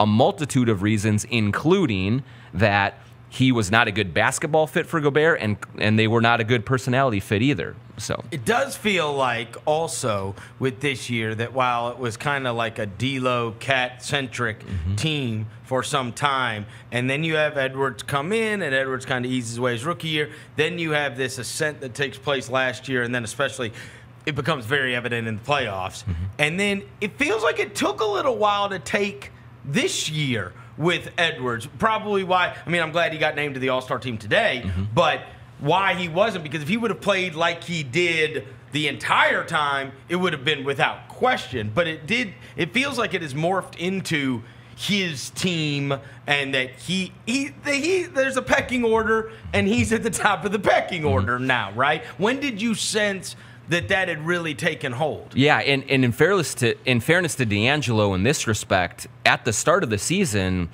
everyone was trying to figure out Rudy. Like, and at- so you had you had Towns, you had Go, uh, you had Gobert, you had Russell, you have Edwards, and the four of them together were, I think, tripping over each other while they were trying to incorporate things. And so I do think that was part of the reason that Edwards didn't sort of hit the ground running and, and take a leap. Then Towns gets injured. He's been out for more than two months. Um, and as they sort of tried to figure out how do you account for Towns' absence, um, they reconfigured the way that they are running their offense. And instead of Russell being the point guard and the ball in his hand and the initiator all the time, they put Edwards in that role. And Russell was moved off the ball. And I think that just put more responsibility on, on Edwards' shoulders. Uh, he could drive to the basket, he can shoot it, he can make plays for others, and he took more ownership of the offense now. Um, and and and it, that confidence has grown. And Russell, to his credit again, shifted to off the ball, catch and shoot, become more of a spot up shooter, and has crushed in that role. Um, 50, 40, 90 practically Well, and his it splits. saves you, and it saves you those crap videos going around of him just standing in the corner looking pissed Yes. off, right? Yep. He- if he's got the ball, he can't stand in the you corner. You activate Edwards all the time, and he Right. and, and, you know, he is the one guy who can physically overwhelm Anybody. and anybody, Anybody. and and so there's no smoke and mirrors with him. There's no kind of cleverness and it's like I am bigger, stronger, and faster than you, and I'm quicker, and I'm going to get to the cup and and and deal with it. And so it just puts so much more pressure on the defense to have Edwards in that Harden like role. I have told. Uh, so part of the Towns thing going out has been our old buddy Kyle getting a much bigger role. I told you. Mm. I told you Oh, you'd he's love him. so many threes Yeah. How, now. how would you love him? Ah, oh, he's the best. It's terrific. Like yeah, Basketball and off the court. off the the dude is awesome. Everything. Um, power forward. He slid right in. He plays defense. He he has really. That's the other thing is they have put the ball in his hands a lot. He Chris Finch trusts him undeniably. Whenever you see the Timberwolves in a funk offensively within a game. The ball switches and Kyle Anderson's on the point. He makes great decisions. He gets people involved. He slow mos his way to the basket and scores somehow. Mm-hmm. And he, he for a lot of the season he's been shooting forty percent from three. So um, I know. Like, bro, Yeah. You know, you know, he hit one here and he turned to our bench and he goes, "I've been practicing." No, he, no, in Minnesota, he Yep. was cooking us. Yeah. He's pointing at the bench. Get him off me. Yeah. And Yeah. uh, LaRavia. Yeah. He's like, you better get him off me. yeah, yeah. So and, I was and like, dang. he's so smart. He's so mature. Yeah. like it's just that this group he needs him so badly, and he's and so when when he he's had some back issues. So when he's out of the game, you can tell like they it just is not the same without him out on the court. What do you think fans think about that deal? Do they think they got enough enough in return for D'Lo? Are they happy with Conley? It- it's Uh, um it's it's split because it's you know some people believe that D'Angelo Russell is the worst thing ever and is the the the the center of every problem that the Wolves have, and then there are there are D'Lo backers and lovers who I'm telling you, outside of Derrick Rose, I've never seen a hive more devoted. Oh, there's That's a D'Lo. D'Lo high. There is a D'Lo hive. Wow. Like D'Angelo. Yes. I had no idea. Yes, a hundred percent, and they back him high. to the hilt. They and love so it. They say it's everybody else's it's everybody fault. else's fault. I love it. And so does both, that include your son? yeah, it does. Yes, a hundred percent. Yes. He's in the D'Lo. yeah, high. Yeah, he knocks down threes, Dad. Why are they trading for him? Why are they trading him? Like he mm-hmm. shoots. He's he's great. And and so it's obviously it's not on either one of those scales. Um, but uh, yeah, it, it, it's in the middle. But so fans, some fans are really excited to see him go, and they want to see Conley come in. And some fans are like, "Man, you traded a 26 year old who's 50, 40, 90 in the last two months for a 35 year old." Point guard who's missed 12 games, what's going on. And so it is really split among Wolves fans on on on what they're going to see and, and and what they wanted out What do you this. think about in terms of the return they got? Well, I, I so I've been one who said like with when you, if you assume that Karl-Anthony Towns is coming back soon, is he? which I think he is. He's here, He's here. He got yep. He got some workouts in before the game or before shoot around, and so I think post All Star break he's going to be close to coming back. When you have that, when you have reintroduce him, you have too many mouths to feed.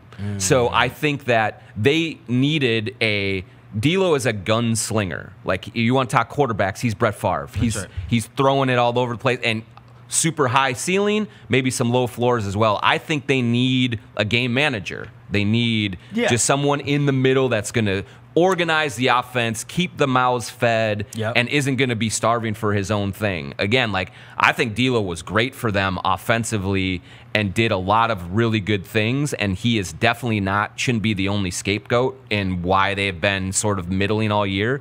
Um, but I do think that for the fit of this roster, this is the kind of point guard. I think it they makes them need. better. Yeah, I do. Because Mike, uh, look, the biggest surprise team i- this year has been Utah. Yeah. and I don't think that, that people overlook that. He's averaging a lot of assists. I mean, he's just 7.7. solid, man. Yeah, he's solid, and he he's at that point in his career. He ain't gonna give you 24, Right. But you don't need 24, Right. You want everybody else to. He'll get guys in best positions to score. He's always been. That's always been his mindset is to be the run the show Good teammate. point guard. Yeah. and and the other the other thing i about this is obviously they've taken a ton of heat for the Rudy trade and it has not looked good.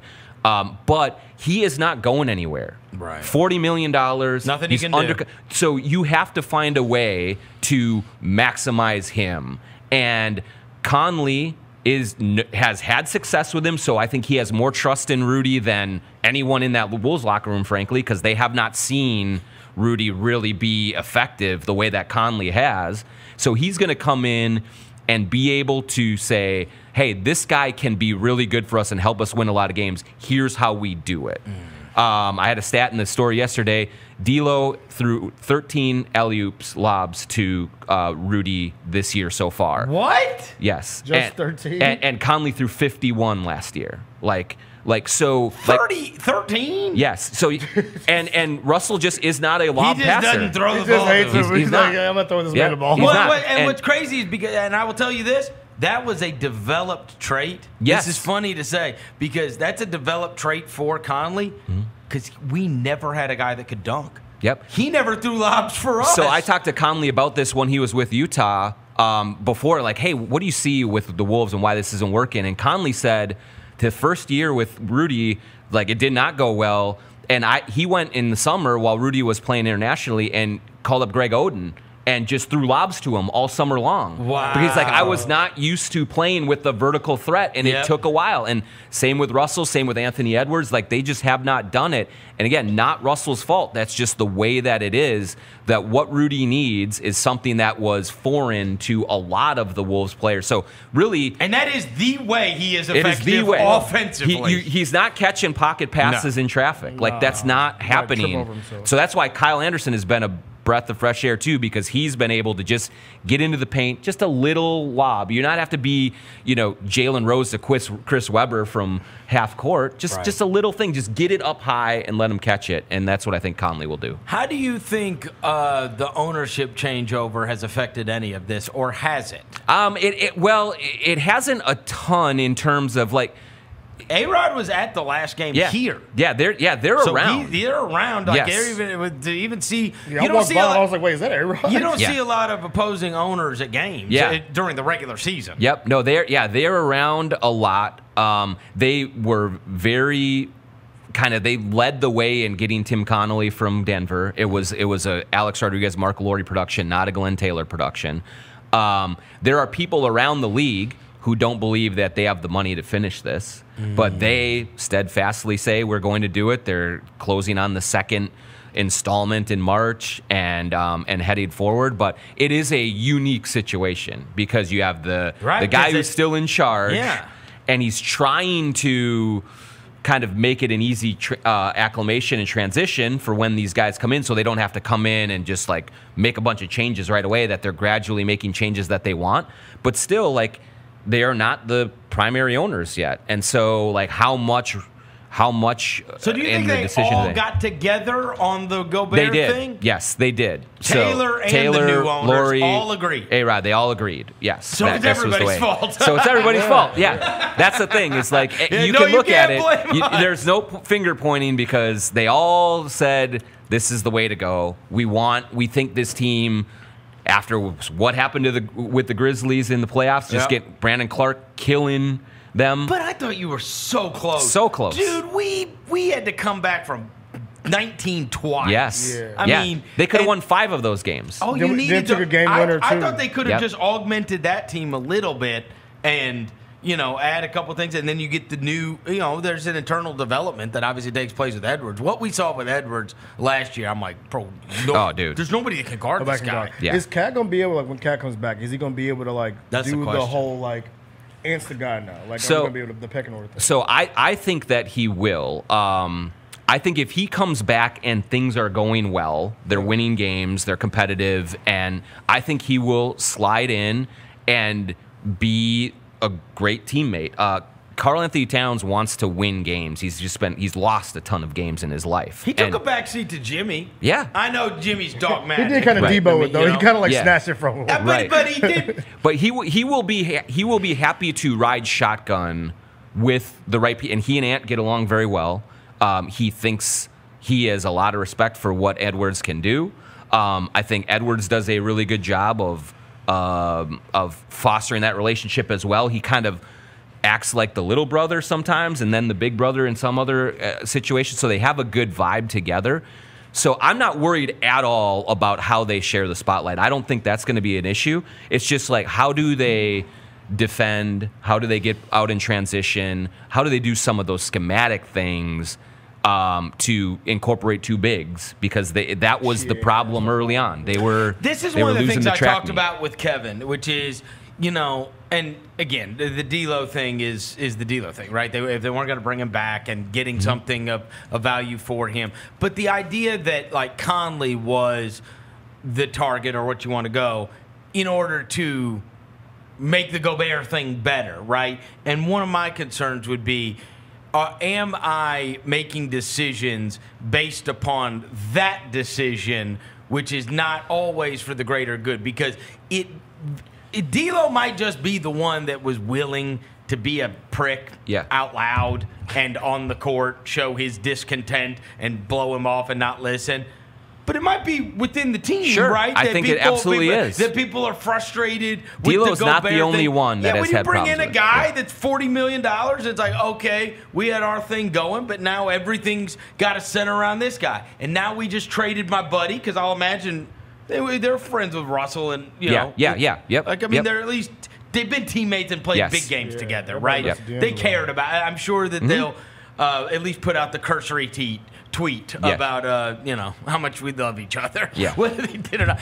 But that the frustrations about the other, so it's like okay, now now Conley just is like the only guy that's aligned with Rudy Gobert, right? Like Rudy didn't have anybody, but now he's got Mike Conley. Yeah. And- well, I, and I think like what you guys know and what they'll find out is Mike Conley is going to be great for Edwards. Of course. He's going to be great for KAT. Yeah. He's going to be great for all of these guys because they it, they need more adults in the room. Like they need more. He's played 73 playoff games. He's been in big spots. He this is the team that has uh, had more technical fouls than anyone else in the league. They argue with the officials all we're the time. we're second. You might be second, but like, but Conley has never had a technical foul in his life. Yeah. In the NBA, like they need. He, I think he got one and it got rescinded. Yeah, Yeah, yeah, yeah. yep. And so, like, they need someone to be a steady hand, and um, Yeah, Kyle Anderson is always telling Ky- him to shut up. yes, yes, He is. yes. Uh, when I watch your games. Yep, He's always yep. like, guys, stop, stop, stop. right? Exactly. It's not going to do us any good. So you need more of that, and and I just think like that is where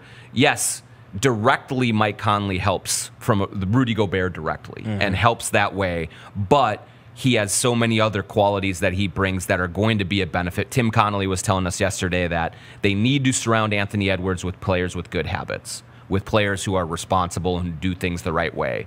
And that is what Mike Hundred Conley is. right? So. hundred percent. You are trying to. It's it's the nurture thing, man. Yep. You nurture these guys along, and they see the guy that's at the gym at practice. They see what he's eating. They see the way he treats his wife. They see Mm-hmm. the way he's around his kid. I mean, all that stuff is, has a profound impact when you have like a truly great veteran. That stuff has a profound impact on the young players. It They does. remember that forever, Yep. forever, and they'll they'll call out that guy and remember him forever, and, and playing with him and the impact that that guy had. Um, what do you make of the Pat Bev thing?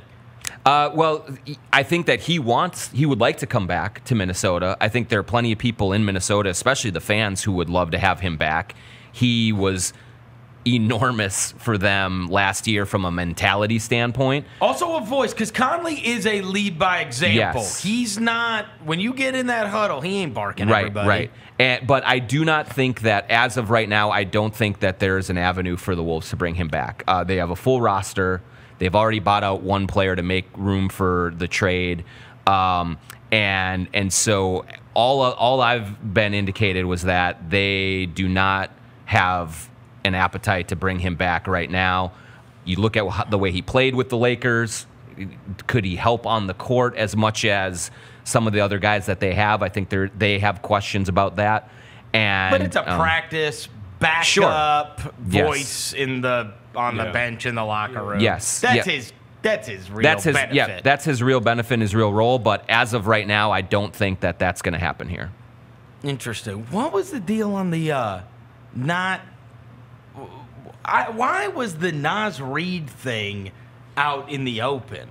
Like the not bringing back Naz Reid or that Naz Reid's not going to get a contract extension Oh, I or think- whatever. so- like why the hell was that even out? I like him. Yes. And I don't I didn't understand why that was kind of like out there as I'm like, well, why would you why, why would you do that now in terms of like, hey, yeah, we're moving on from Naz Reid after this year? yeah Like, no I, I don't think that's i don't know that that's been accurately portrayed or whatever because I, I would say that Naz is a free agent this summer Right. they have had conversations on a extension with him periodically throughout the year they have not yet come to one but i think that now that the trade deadline is over i think they're going to re-engage with him and try and try and get I something like done him. yeah he's a Yeah, good he's a dog, talented player like he And he was really good when Rudy was out. Yes, and and so and you, you look at it and you say, why would you sign another center? Well, you sign good players, Yeah. and then you figure it out, like whether you trade Naz later, whether you, you you make some other moves around. But like he is a good young player who likes being in Minnesota. So I do think that they will try to get a deal done. Whether they get to the right number or not, I don't know. But um, he is talented, like, and he can help, especially against small front courts. He crushes them. Do you So- think they got better?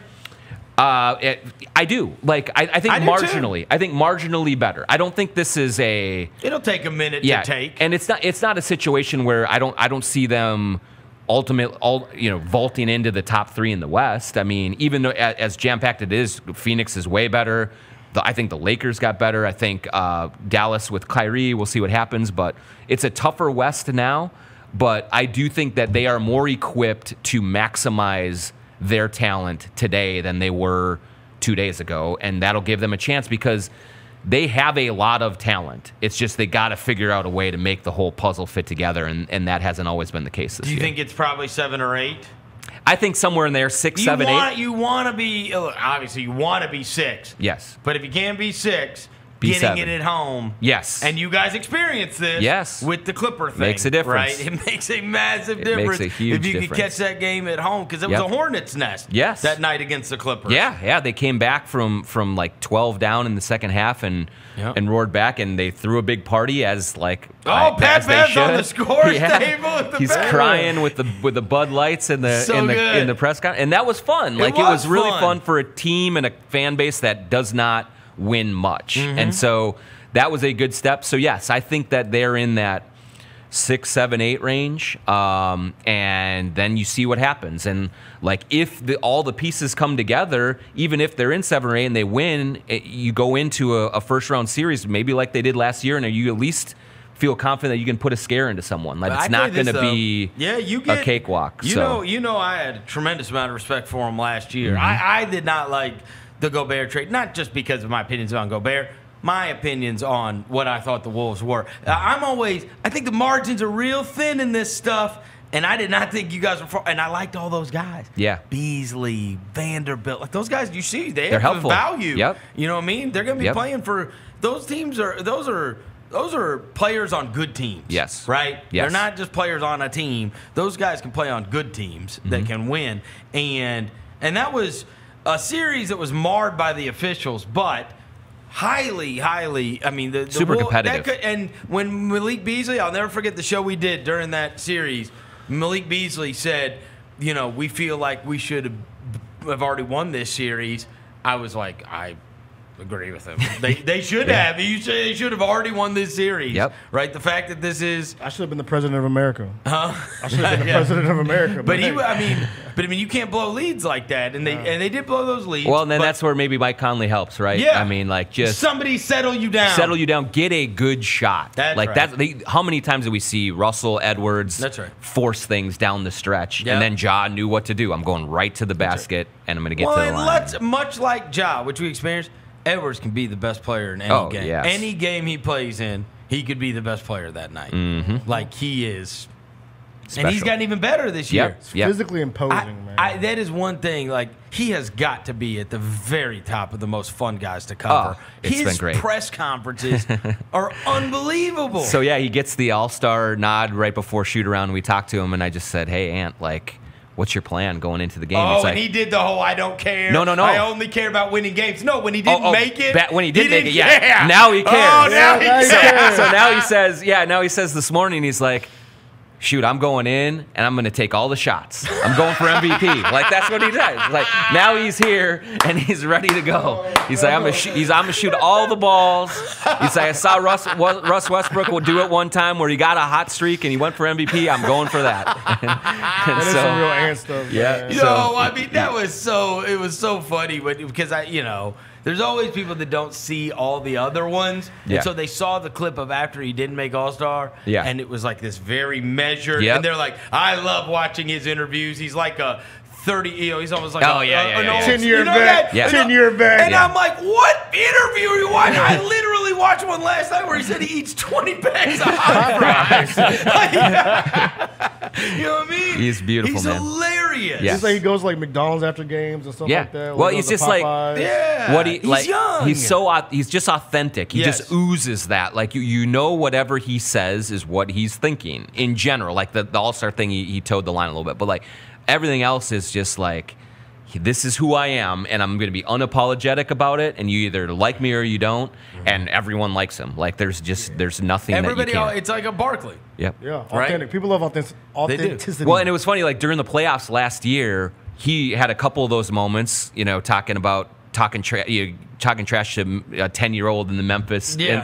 in, in the forum and stuff, and, and loving it. And there's a lot of Grizzlies fans that follow me just from from all that, and they're like, "Man, I don't want to like this I kid." know. Like they're like, "I don't want to like this kid, Can't but I can't yourself. help it." Yeah, like it's uh, If that, you that's don't the like it is. Anthony Edwards, something's wrong. yeah, I love you. Bro. Give me an ant jersey. Everybody, lo- Give every, everybody loves him. Yep. He's fun. He's great. He and he smiles all time. Smiles. Which is, you know, that's just uh, when I talked about like to wrap it up the. The Melton jersey. That was part of the reason my kid loved Melton. Yes. Because Melton looked like he he's got a job playing professional basketball and he loves it. Yep. And what? it's and- like yeah. a lot of these guys look pissed off all the time. Well, and that's what like they've the Wolves have talked about that, and I agree. Like you hope that as the years go on, he holds on to that. Yeah. Like I've seen Oh, Kevin yeah. Love, KAT. Like I've seen them all come in and they're wide eyed and they're they're cool and they're engaged, and then the business of the league grinds you down, Mm-hmm. and hopefully that Ant is able to hold on to that. Well, just it starts that now. love. Yep. Because I'll tell you this: it started with Ja.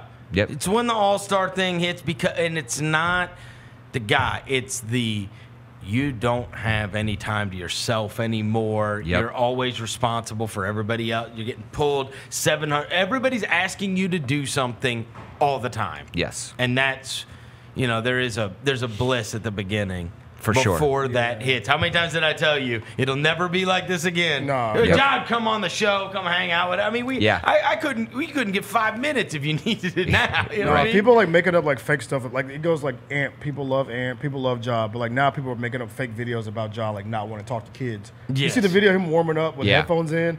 They're like Ja Morant ignores kids while warming up. Yeah. Yeah. He has headphones in. Yeah. Warm, Yeah. What player do you know stops warming up? Hey man, let me sign that. Because when you get big enough, Yeah, that's right. then they want to take you down. Like, Oh, yeah, that- yeah, yeah. that's the way it is. It's like, everything. Ask you can't Nickelback. please. you, you can't please everyone.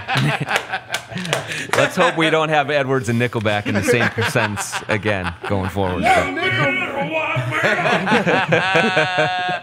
right, Grizzlies and Wolves tonight at FedEx Forum. We're going to come back and Brian Edwards is going to join us for Vegas Insider. Thanks, Jon. Thanks for having me, guys. All right, buddy.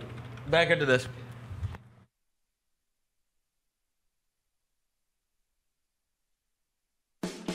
Hungry as a bear? Grizzlies fans can score big by ordering their favorite combos. If you pick up the Burrito Supreme combo from your local Taco Bell through February 21st, you'll score a key tag good for a free nacho cheese Doritos Locos taco on future visits. What's better than a Grizzlies win? Free tacos at Taco Bell. Stop by today to get yours. Available participating Memphis area Taco Bell locations while supplies last. Free item valid per disclaimer on back of key tag. Nacho fries are back at Taco Bell. You know, the fries covered in bold Mexican spices you dip in a warm nacho cheese sauce. You could also dunk them in nacho cheese sauce or pour the sauce onto a pile of them and create like a nacho fries nachos. The thing is that you eat them with nacho cheese sauce. That's what makes them nacho fries. Otherwise, you're just eating fries and sipping on nacho cheese sauce, and that's the wrong way. Sorry, just really passionate about nacho fries. Nacho fries are back, only at Taco Bell. At participating U.S. Taco Bell locations for a limited time only while supplies last. Contact local store for hours and participation which vary. Represent Every Day, presented by Delta Dental of Tennessee, is an incentive based program focused on keeping youth K through sixth grade engaged in school in order to combat truancy. In partnership with Shelby County Schools and with the help of Delta Dental of Tennessee, the Grizzlies are focused on reducing chronic absenteeism among the most impacted schools in the Mid South. Students in the program have the opportunity to win fun and unique prizes by going to school every day and being engaged in the classroom. For more information on the program, visit grizzlies.com slash community slash education today. Grizzlies fans know it's the team that gives you the edge. Big River Steel does too. And much like the Grizzlies have recruited legendary talent, we want you to be part of our team. Are you ready to be part of something legendary? Then visit www.bigriversteel.com. That's www.bigriversteel.com.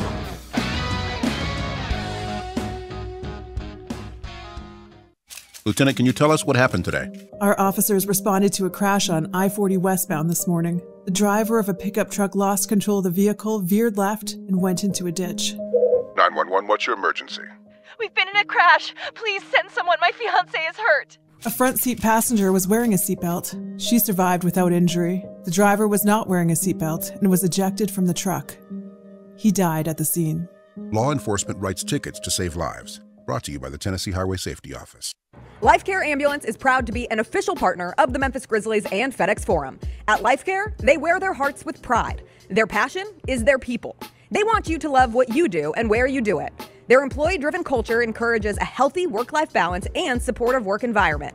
They invest in your success and well being so that you can provide the best care for the patients that they serve. Join the incredible team of EMTs and paramedics in Memphis, Nashville, and across the nation today. Learn more at lifecareamb.com. Eight time Grammy Award winning Anita Baker.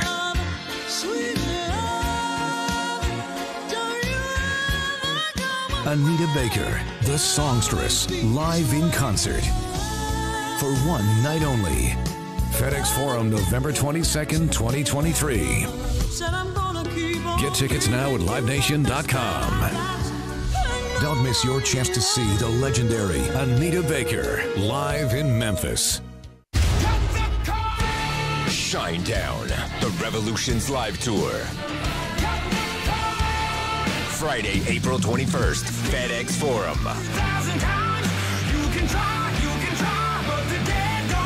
With special guests, Three Days Grace. And From Ashes to New. On sale now at LiveNation.com. Don't miss Shinedown live. Are you ready? The toughest sport on dirt is back for an all new 2023 season. Join the party and come watch the Cowboys of the PBR Pendleton Whiskey Velocity Tour ride the rankest bulls on the planet. The Bluff City Classic, February 18th at FedEx Forum. Tickets start at 15 bucks. Get yours at pbr.com or ticketmaster.com. Get them while you can and find out what it means to be cowboy. At Mountain Dew, we'd like to remind you that the world as we know it would not exist without the number zero. Which is why, at Mountain Dew, we'd like to recognize the number zero for making Mountain Dew Zero Sugar possible. Even with no sugar, it packs all of the bold citrus kick Dew Nation knows and loves. It's so good, you have no reason not to try it. As in zero. Get it? Crack open an ice cold Mountain Dew Zero Sugar. It's zero sugar, all dew.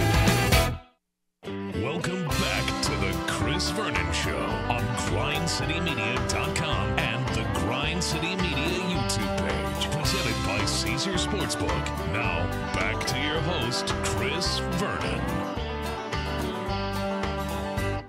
You think you know what's going on. You think you got it made. Your love's on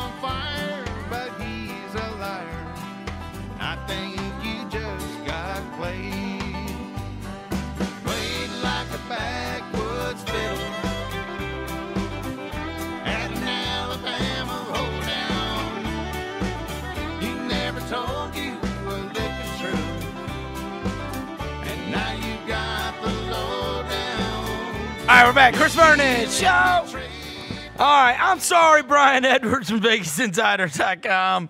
Oh man, we we are so far behind on everything we were going to do today. Uh, you might have heard the Super Bowls this weekend. Yeah, I did. And you famously, you've been on with us for so many years. You have famously called the first touchdown several different times on the show over the years. Usually at very good odds, some of which have been some random ass players. Dude, Why, why, why are you talking about Brandon LaFell like that? Brandon LaFell was one, and then who was the other one that you got? Anquan Boldin. Anquan Boldin. Now, now the Devin Hester, I think, was before I was coming on the air with you. That was twenty-five to one. The Bears Colts opening kickoff. But I got Odell last year. Oh, that's right. It was last year. Odell. Yeah. Yeah. You, all right. So you're always good for first touchdown. What do we got? DeVonta Smith, thir- uh, 12 to 1 or 13 to 1. Um, look, if it's a short yardage situation, it'll probably be a running back, probably Miles Sanders, although it wouldn't surprise me if it's Gainwell. But if it's Philadelphia and it's not a run in a short yardage situation, I think it's a toss up with A.J. Brown and DeVonta, and I'll, I'll take DeVonta. All right. I hate With better the, E- odds. I hate the Eagles, so give me a Chief. Well, you know, I did, I did Kadarius Toney at the last minute in the AFC Championship game at uh, I think it was thirteen to one, and he uh, he dropped that touchdown pass, which um, which sucked. Remember, he Ah, yep, he, he had did. it in his hands. But um, uh, for the Chiefs, oh man, It's, you know, Kelce scores every touchdown for them, right? There's a lot of Pacheco props that I liked when I was looking at him. I love him. Pacheco. yeah, no. Yeah, he didn't get as many touches against the Bengals, which was kind of surprising. And is it Clyde Edwards-Helaire going to play? Yeah, I they say like- he's going to be active, but I don't know. But maybe that helps Pa- Pacheco's odds. Um, but Hmm. if I had to stay with KC, I'd probably go Kelce, although the odds won't be as fun. Man, they're going to suck. All right. Uh, all right. What other props we really like in this game? Uh, Kelce's receiving yards. Oh. Um, yeah. Uh, it's in the 76 and a half to 79 and a half uh, range. So he only had 78 against the Bengals, but uh, against the Jags, he had 98 on 14 catches and 17 targets. Um, during the regular season, he had 81 or more in nine of 17 regular season games. So he's had 78 or more in 11 of 19 overall. Um, but I just think he's going to go to him early and often, and so I think he'll get more than his average, which is about at the 78. Yeah, I mean, in the in the biggest game, you would figure they would Right. try to be. I mean, um, he doesn't have any other targets he loves. Right, and I mean we don't. You know what I mean? He doesn't have anybody else to throw to.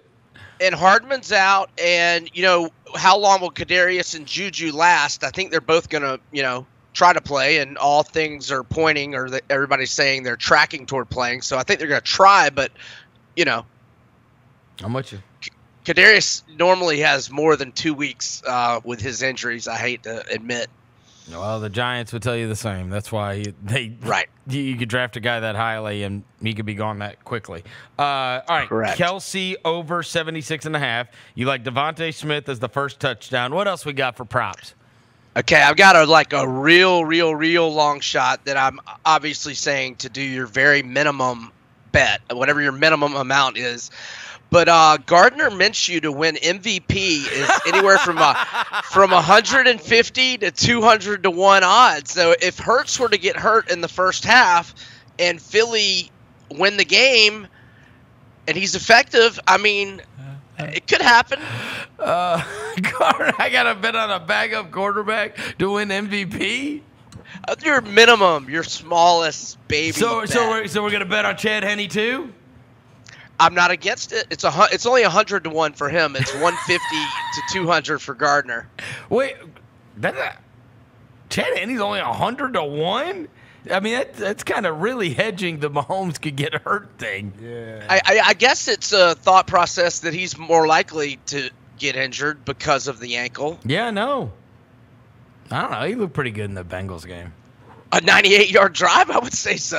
and he ran for the game-breaking uh, first down at the end when it mattered most. That Mahomes performance was unbelievable.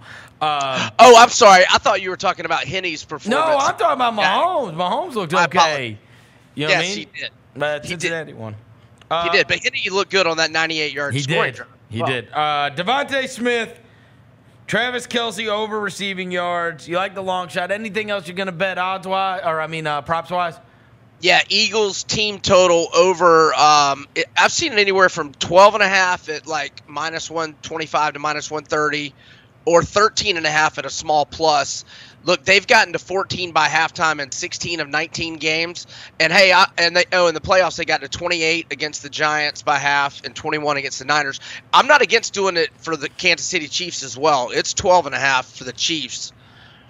Um, and I, I, I already did a little bit on the KC, but I, I got a good chunk on the Eagles. I like it. uh, Look, like it more so with the Eagles, but I like both. What kind of number can we get on? What's the uh, what's the over for the first half? You know, I bet the overs in the first half on all those playoff games, and I raked on that. Like they were constantly hitting, and there was the one I pushed, and that was because of a missed extra point. But In the Niners, Yeah. um, uh, uh, Seattle. No, no, that ended up going over. There was some. There, there was one of them. Uh, it, would- no, it was the uh, Cincinnati guy, wasn't it? I think it was Yeah, him. McPherson. I think he missed Yeah. one. But anyways, against I, the Ravens. yeah. So I missed. A, I missed one of those because of a missed extra point, um, or I pushed on it, whatever. But generally, the 24 and a half. first, the first half And overs. even money. Oh, okay. The first half overs have been amazing for the, these NFL playoffs, for sure. Yeah, I'm not. I'm not against it. I mean, 24 and a half, and uh, you know, you're getting even money, so no juice. When you were saying you like both of those teams at 12 and a half, Right. Right. Okay. Right. All right. Okay. Oh, uh, so I'll go. Yeah. All right. First half over for sure. All right. Any other props? No, that's about it for me. I, I don't like to do too many. Are you betting on the game? Yeah. So I've already got a ton of money on the Chiefs. Are you on the Eagles? Yeah. I know. But I don't he- love it. I don't love it. These props are all Eagle props. I ain't betting on their ass. I hate them. right? So I'm telling you though, I, I am not going to be hesitant to come back with some on the Chiefs if the Eagles get out to an early lead. I, think it could be a good game to to bet live. Like Okay. I think it's going to be a, a, a one possession game. So if any team gets out to a 10 nothing, 14 nothing, or a 21-10 type of lead and it's still first half, I, I think you're probably going to be in good shape taking whoever's the underdog. If you can get them like plus six ish or more, certainly if you can get them plus seven and a half or more, as long as there's still plenty of time left, because I think it's going to be a very close game. Did you take one and a half? Uh, actually, got um, one of my accounts had money line only minus 120. Oh wow, God, one twenty. Sheesh. Yeah. All right. So you got Eagles, but you might live bet on the other side. You don't love right because it's, it's not no i don't love it um and i didn't even bet it till a couple of days ago when i saw the minus 120 and i still i have another account that's got chiefs plus two at even money i, I may buy it to three at minus 140 just for a little bit Maybe. I'm a, hey, Rose, I'm gonna tell you, I'm gonna wild out if this dude hits first touchdown again. Who,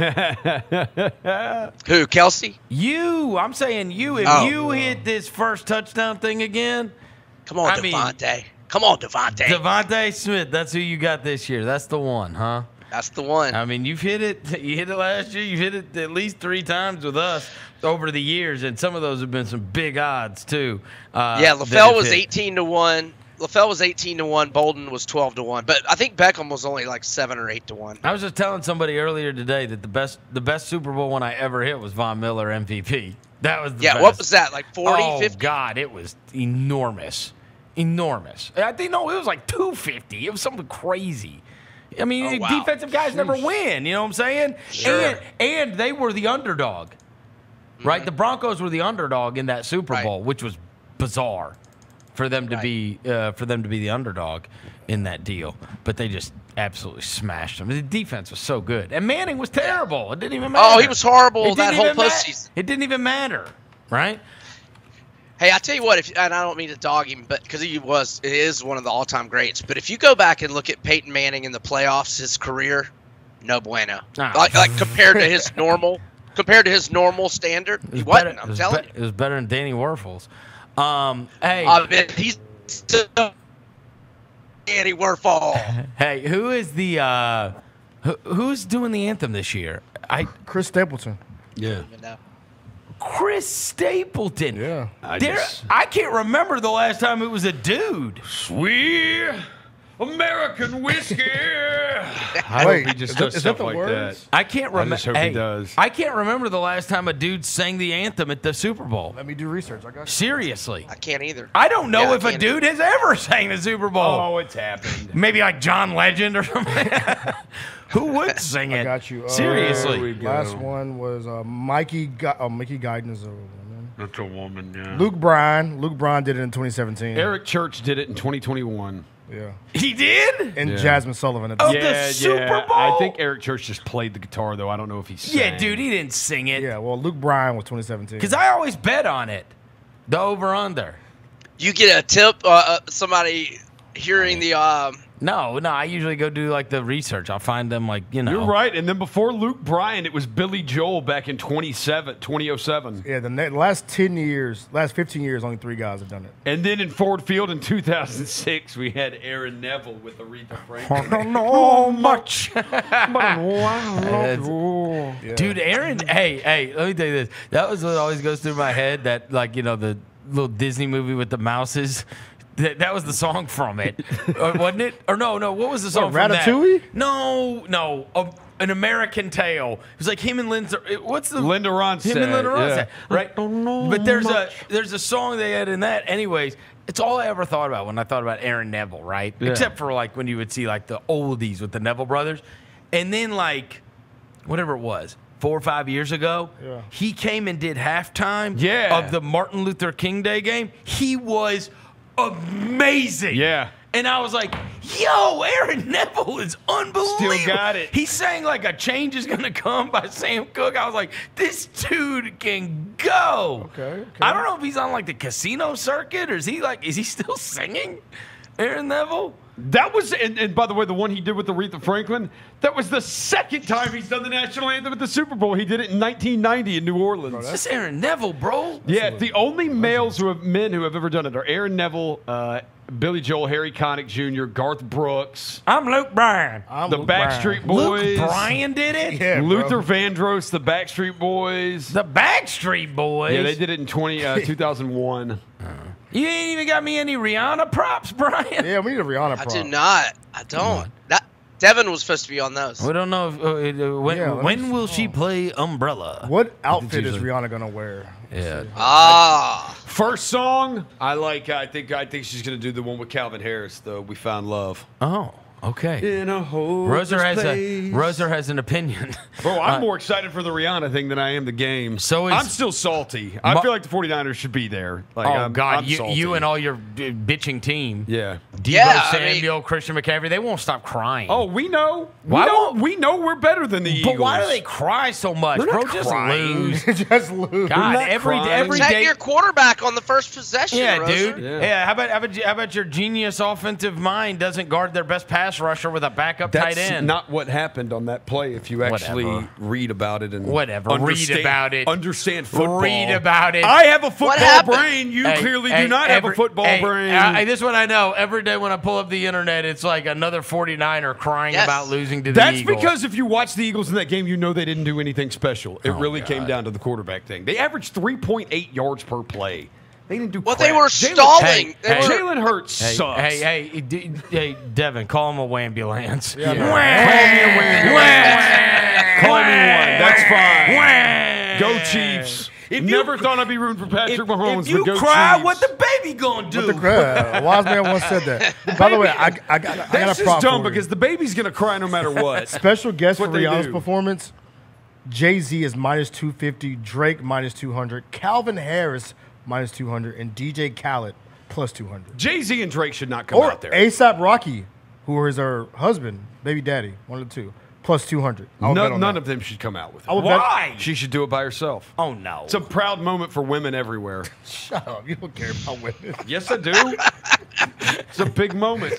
And they would be upstage. Why? Johnny Feminine. Yeah, why would Jay Z come out there? Johnny Feminine. Jay Z is a bigger is a bigger artist. and It's just a male upstaging the female spotlight. And it- it's already a male's game, being the Super Bowl. What are we doing here? Come on. And Chris Stapleton's already got the national anthem. I agree, Roser. Yeah. Johnny What are Feminist. you Come talking He's turned a new leaf. Yeah, come on here. You love What the is- W- you love the WBA what is NBA now going too, on here? Whoa, whoa, whoa, whoa, whoa, whoa. okay, hang on. Hang on. You don't love the WNBA? Going too far. Too far. All right, you got anything else to bet on this weekend? Man, the Lions aren't out in college hoops All right, yet, and they so nah. Brian, good luck. Thank you, brother.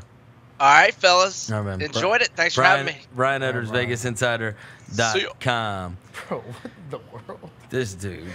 He's he's he's anti Jay Z coming out because he doesn't want the very proud women's moment to be upstaged by Jay Z. Yeah, girl power. Hey, let me she t- could bring the Spice Girls out with her. Hey, That'd be let me let me just go ahead. Can I? Uh, I would like to bet the reverse of the Jay Z thing. I I would like to bet a billion to one, maybe a trillion to one. Jay Z's coming out there. Why a trillion to one? Jay Z is not going out there. If you think for one second Beyonce is going to let him go out That's there with true. Rihanna, you have lost your mind. But didn't done Jay Z like produce the halftime show? It doesn't matter, bro. They got real smoke. The Beehive and the what do they call them? Uh, The- I, I don't know what is Riri's army called. They've got The it's a- Rihanna Navy. the Navy. the Navy. Riri, they put the little boats. Oh yeah, they put It's the boats versus the bees. so you don't think Jay Z's gonna be out there? Hell no. I think ASAP Rocky might show up. I think he might show up. Just Drake would. I mean, and that's good for women. Roser, that wouldn't be you go. offensive, right? Dude. Drake doesn't really upstage. I don't need I don't need Drake coming out there getting the microphone going, You need to get work done, done, done, done. He's a- I'm like, oh my god, kind shut up. Yeah, but he's a, impression was hey, That's hey, Drake. Yeah, but he's a yeah, but but, he- but he's he's effeminate enough that it'd still be a girl's Yeah, thing. Yeah, he's get your singing ass out of here. Come on. Damn, dude. Yeah. Uh oh, Oh the God. beast came out. No. Toxic Toxic masculinity. masculinity. Johnny. Oh, no, no, no. Johnny Dev heard Toxic. Johnny Toxic. No, no, no, no. He's you, back. You want to hear the toxic masculinity? Dev heard it before the show. Oh no. Billboard and Vibe released their top 50 rappers of all Oh, no. time. Oh, Bro. Nicki Minaj being number 10 ahead of Kanye West, Andre 3000, Rakim, Ice Cube is just But one of the most but what about absurd but, things but ever. what about women getting a place on the top? Yeah, 10 list? representation. Representation matters, bro. Yeah, but Representation not, matters. But, but they're not one of the top 10 rappers of all time. So does honesty. And be honest with yourself, Billboard and Vibe. You know Nicki Minaj is not one of the 10 best rappers of all time. Having someone like Mos- Put up in a monster out of. Having someone Sri like Lanka. having someone like Mos Def be in like the 30s or 40s, and having Nicki Minaj be 10 is just First things first, I eat, I your, eat your brains. brains, yeah. Then I'm gonna rock and go teeth and Yes. Brother, join do your Drake impression again. People said they want to hear it again. You need to get work done, done, done, done.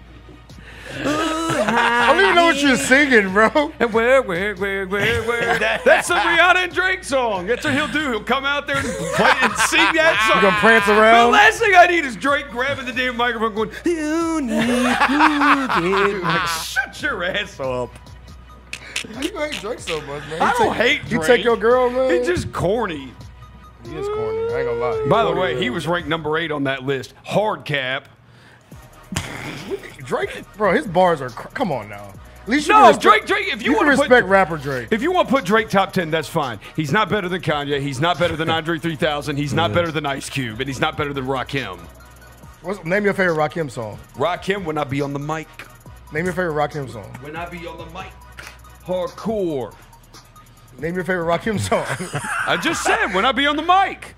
It's a song, Dev. I never heard that. You learn it. yeah. Respect your elder. Respect your elders, youngin. All right, it's gonna do Oh, it wow, for today's so, show. Go Chiefs. Go Chiefs. We'll be I back. gotta go to Boston this weekend. You're going? Yeah, I forgot about that. Beantown. I totally forgot about. Stand up. Yeah, so we're watching. Bring us back some chowder. And we're staying. We're staying there uh, to watch Super Bowl. Oh, you are. So you're gonna watch it in Boston? Yeah. Fair Hope enough. we get a fair win enough. with Luke Kennard, and then we go watch Super If it's snowing, you're going to go check out, Fin- what is it, Fenway Park? Yeah. I cannot do the I Boston can't, I can't be accent. walking around Boston. by myself. Superman. All right, it's gonna do it for the show. Thanks to Jon Krawczynski. Thanks to Gary Parrish. Thanks to Brian Edwards. Thanks to Devin Walker. Thanks to John Rosa across the glass. So Robbie and Jacob back in the studio until Monday. Everybody have a wonderful and safe weekend. Until then, we go.